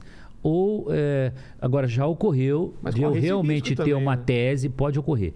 É, eu- de eu eh, vi uma tese, eu eh, eh, investi e aí não era nada daquilo, isso ocorre, tá? Porque ali o empreendedor também, em meia hora, ele não é que ele, ele não tem o interesse de contar nada que não seja verdade. Mas ele, na- no calor da emoção, eles ficam muito nervosos. Pode exagerar. Cara, você tem ideia do que é você chegar na frente de cinco empreendedores ali Sucesso. com luz, É. câmera, ação. E aí ele tá com o pitch dele ensaiado, cara. Tem um mês que ele tá ensaiando. Ele tá esperando E ele, momento. no primeiro nervosismo que dá, eles começam a suar, ele começa a tremer. E aí ele esquece. Aí a gente, calma, respira. A gente dá uma calma pra ele. Começa de novo, vai lá, né? E aí naturalmente ele, ele consegue é, voltar e se concentrar de novo, né? Ou seja, ali é um- uma primeira etapa de uma análise. Depois vem a segunda etapa e depois terceira etapa para fazer o investimento. Entendi. É isso? É, tem uma, só mais uma perguntinha do Eduardo, que ele pediu pra você contar como é que surgiu a ideia da Casa X. Ah, que legal. Ó, Casa X sempre foi um sonho antigo da, da, da- da minha sócia Xuxa, né? É, e de, obviamente, democratizar também, levar o- o- as casas de festa para todo o Brasil. Só, só dá uma, uma recuada. Como você conhece a Xuxa? Como Isso. essa parceria? É, a Xuxa foi assim, eu quando o Microlins, é, eu naquela busca de estar próximo de é, celebridade, de é, fazer parcerias que pudesse levar, devolver para o mercado um pouco do que eu já estava colhendo, Entendi. eu fui procurar a Fundação Xuxa Meneghel para colocar uma escola Microlins lá dentro e uma escola em Beleze. E aí, ali nas formaturas, todo ano eu ia na formatura dos alunos, a Xuxa presente. A gente foi criando uma empatia, um carinho, um respeito como profissional. E um belo dia eu convido ela para ser sócia. E ela falou: Poxa, vamos fazer uma casa de festas. E a gente construiu, desenhou tudo junto. Só que a gente não contava, por exemplo, com uma variável, né? Quando a gente se propõe a fazer uma casa de festa com a marca Xuxa e com a reputação do Semenzato junto, essa casa de festas que é- recebe crianças, ela tem que ser impecável. Por exemplo, tudo é boleado, tudo é curvo, não pode ter uma quina que machuque uma Ah, ter criança. A, a possibilidade. A de- possibilidade. Você tem ideia do que Nossa. reverbera uma criança se machucar Claro, no numa. Parque da no- Xuxa Você tem ideia do- do- das indenizações que são possíveis, etc. Então, a gente, a gente meio que pensou em tudo, mas pensamos exageradamente. Criamos a casa Perfeito. praticamente perfeita, com um investimento alto e com uma precificação que não consegue chegar na base para democratizar. Ah, Então teria que ser uma casa de festa popular. Como é que coloca o atributo de segurança, alimentação de primeira, festa com show, show que tem começo, meio e fim, uma atração, a nave da Xuxa que desce na hora do com o aniversariante. ah, E, porra, isso aqui ficou rebuscado, isso aqui ficou uma coisa parruda, vamos falar assim. É. Muito profissional. E o investimento alto.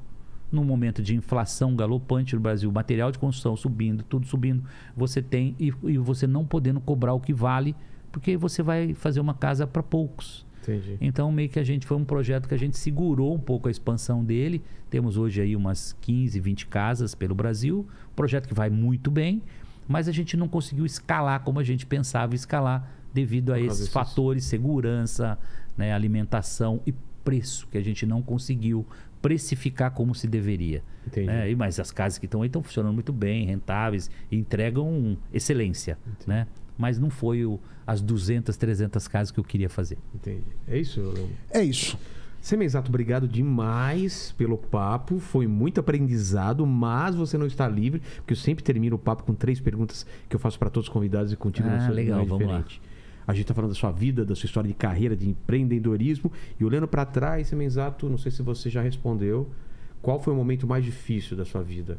Ou, ou da sua profissão? É, o trabalho e, e a sua É, vida se misturam o, muito. O momento né? mais difícil foi realmente aquele momento que eu quebrei quando o dólar, O dólar disparou, e eu vi que ali o meu sonho grande de eh, fazer a maior rede de ensino profissionalizante do Brasil estava indo por água abaixo. Literalmente. Ali eu tinha uma decisão importante para tomar, né? ou eu surgia o caminho das franquias, que poderia ser uma outra solução qualquer, mas aquela foi realmente a melhor que surgiu, ou eu ficaria na sarjeta ali e voltaria é, humilhado a ser um programador, um analista e retomar minha vida. E vamos dizer que seria boa também, não seria ruim, mas eu tive a felicidade de encontrar o caminho, né? E esse para mim foi o pior momento da, da minha vida, da minha trajetória. E que se transformou ao mesmo tempo no, no- No- na, na- na- válvula, na verdade, na, na válvula propulsora É. Dizem que de no- transformação da minha vida, que mudou a minha vida é. para sempre. Dizem que no A fundo do poço tem, um, tem uma mola, né? Pois é. Você vai lá, bate e sobe. Mas Não tinha como atolar mais para baixo Exato, aqui. né? Já- Só sair dali só seria o só caminho pra agora. cima agora. Pois é. Segunda pergunta é o seguinte: iremos morrer um dia, espero que demore muito tempo, mas esse vídeo vai ficar para sempre na internet. O pessoal pode voltar daqui 322 anos para querer saber quais seriam suas últimas palavras, seu epitáfio. Sabe aquela frase de lápide? É, Eu, eu acho que é, valeu muito a pena. É, é sentimento de dever cumprido. E de gratidão. muita gratidão por tudo o que eu recebi, o que eu obviamente ofereci, mas recebi em contrapartida, sabe? Muito carinho, muito incentivo dos, dos fãs, seguidores, é um negócio assim incrível, né? Eu ouvi de um franqueado, né? Putz, você transformou minha vida, você é inspirador. São coisas assim que não tem preço. Então, Exato. essa é a mensagem. um sonho numa- Valeu a pena. É, e eu falo muito que isso tem que virar um. Cara, é um, é um legado. Entendi. Meu filho, o Bruno e a Beatriz têm a missão de levar esse legado para frente. Eu, eu costumo dizer que Semenzato vai ter que estar para Rockefeller, vai ter que estar para Olha a Rothschild. responsabilidade no ombro. do- Isso, mas isso já não é problema meu mais, E né? agora é com vocês aí, Já né? foi, já fiz a transmissão. Já vai ter clone, Vou já vai ter um monte um, de coisa. vou né? apoiar mais um pouquinho, né? Exato. Tem mais uns 10 anos Dá produtivo aí. e ajudar depois. e é eles. aconselho, já não É. mais colocando a mão na massa. Mas daí pra frente agora a missão é deles, o legado é deles. É. Eu falo que esse é meu, meu exemplo. Eu sei que você é um cara realizado, mas ainda tem coisa que você fala, putz, eu ainda falta. Ou você não, poderia sair agora. Cara, não Qual a mais, sensação? sabia? Não, não mais. Quando você pode comprar, realizar todos os seus sonhos e, e eles nunca serão maiores do que os que você já realizou, porque Lá atrás, né? Ah, você tem o melhor o carro mais moderno do mundo, vai. Putz, a Comprar mais- Ferrari, é. a, né, a, a Land, a Land Rover top, o, né, o Jeep Mercedes top, Sim. o relógio ícone no mundo. é, mora muito bem, você pode viajar para onde você quiser. Então daqui para frente é devolver um pouco mesmo, sabe? Que é o que eu estou fazendo. É, é, claro, ninguém pode falar que não tem sonhos, né? Eu continuo sonhando, mas não é ambição. É uma coisa que Entendi. é, é muito natural. É leve, Essa coisa né? do legado. É. Esse é um legado que eu estou transferindo para ter um objetivo para os meus filhos transformarem o que o Semenzato fez e, e vai deixar na história, de levar isso adiante. Exato. Fazer isso. Agora, mas essa é a história deles e que não me diz respeito. Eu preparei eles, entreguei algo relevante. outros problemas, outros- outros outros problemas, cenários. outra história para contar. É. Daqui 30 anos, 40 anos, estarão Bruno e Beatriz contando, Contando. essa nova fase, essa nova trajetória. É. E assim vão passar de geração em geração, que é o, o legado que eu, que eu espero que, né, dentro do ecossistema do franchise. E a terceira pergunta é uma coisa que vai fazer ao contrário. Normalmente você faz as perguntas para as pessoas no, no Shark Tank. Agora você tem a, a possibilidade de colocar uma dúvida sua, uma, um questionamento que você se faz. Pode ser sobre empresa, sobre empreendedorismo, sobre a vida. Tem Uhum. um questionamento que você se faz até hoje e fala, cara, eu queria ter essa resposta, ou, ou tá buscando essa resposta. Putz, de verdade, cara, não tenho. Mesmo? Não tenho, cara, não tenho. Que legal. Minha vida é resolvida, minha vida. é, Eu, eu não tenho nenhum problema que não foi resolvido até as 6 horas e 59 minutos quando eu entrei. Ninguém tá dependendo de uma resposta minha, nenhuma pendência É mesmo? que mude substancialmente Nossa, a vida de ninguém. Invejo isso, né, Nani? Eu não tenho uma pendência, nem das obras que estão em andamento, nem das franquias que estão em andamento, no comitê de sócios das companhias, todas estão resolvidas e, e respondidas, né? Claro, tem coisas que estão endereçadas para o Claro. futuro, mas eu não tenho pendências.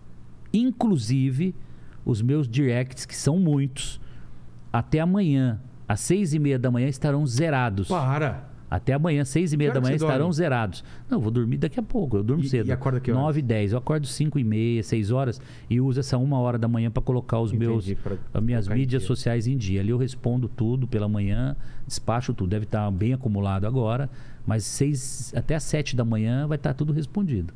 Exato. Obrigado então, demais. Não carrego papo. pendências. E, e nenhuma dúvida mesmo? Eu queria isso daí. Eu faço Não várias tem, perguntas cara, da minha vida. Não tenho, de verdade. É. Não tenho.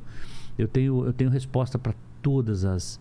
eh, eu, eu sempre tomei E decisão, você tá sempre com otimista ou cenário. pessimista com esse ano, eleição, o que vai ser o ano que vem? Eu sou um otimista por natureza, né? Mas hoje, não mais exageradamente, né? Eu sempre olho os cenários e, e naquilo que exige o conservadorismo, pé no chão, eu vou e coloco conservadorismo, pé no Entendi. chão, né? Porque hoje eu, eu, a gente, eu falo o seguinte, quando você começa, você não tem nada, você não tem nada a perder. É, Então, quem tem que tomar risco hoje são os jovens. claro. Estão começando, eles que têm que tomar o risco. tombo é de Não, não é pode ser o Semenzato, o Vilela com 50 anos que vai tomar risco mais. 39.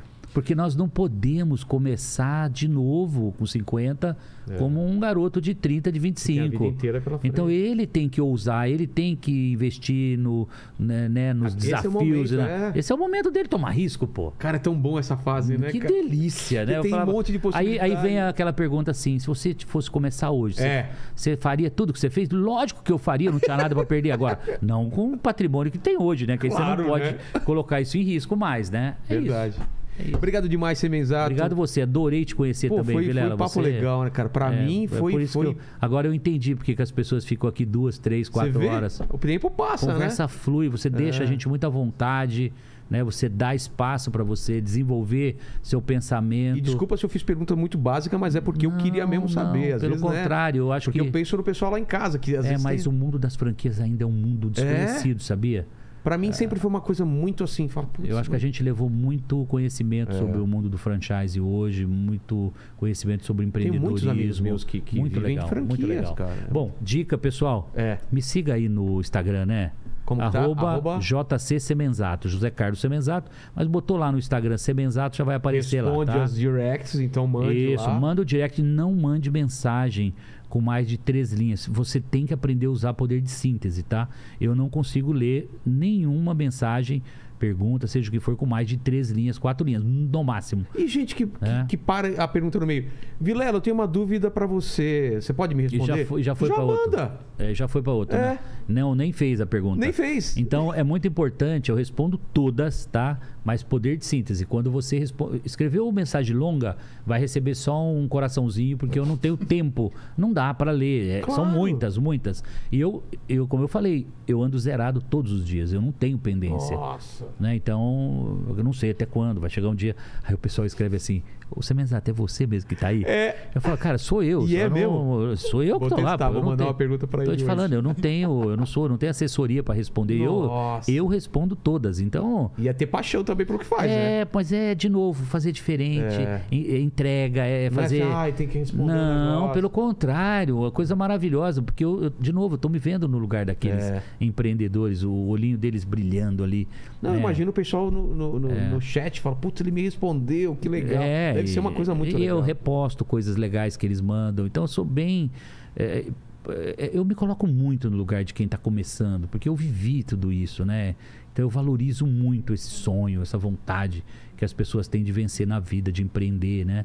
E dá para você ver mensagem sincera, mensagem. Eu, eu tenho um poder de rapidamente ali eu percebo, né? As pessoas que estão com Realmente. boas intenções, enfim. Entendi. Então a gente ali eu realmente valorizo, eu, eu devolvo, né? Às vezes mando uma frase, às vezes ponho uma, uma resposta um pouco mais robusta. Entendi. Né? Às vezes peço para falar com os meus assistentes, eu tenho lá o Pierre que me atende. Encaminha. Em caminho, olha, então agora você manda mensagem pro Pierre, porque Ah. aí eu não vou poder analisar o seu negócio Já aqui. passou da primeira fase. Por aqui, já, a ó. primeira, segunda fase, fala com o Pierre. Exato. O Pierre vai filtrar esse negócio, vai visitar a lojinha, Olha vai ver se legal. tem tração.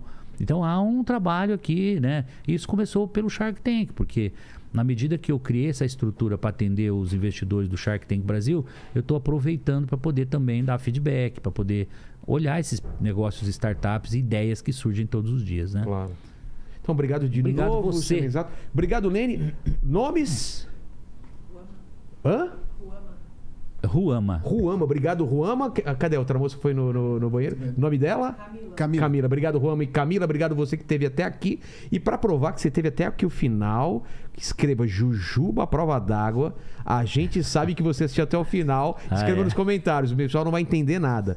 obrigado, Semenzato. Obrigado você, Dorme parabéns, cedo. viu? Desculpa, né? A gente Que isso. a gente aproveitando da sabedoria dele, mas foi muito legal e, e tenho certeza que vai mudar muito a vida de muitas pessoas com essas informações. Então, obrigado demais. Obrigado, gente. Um beijo no Valeu. coração. Até mais. Valeu.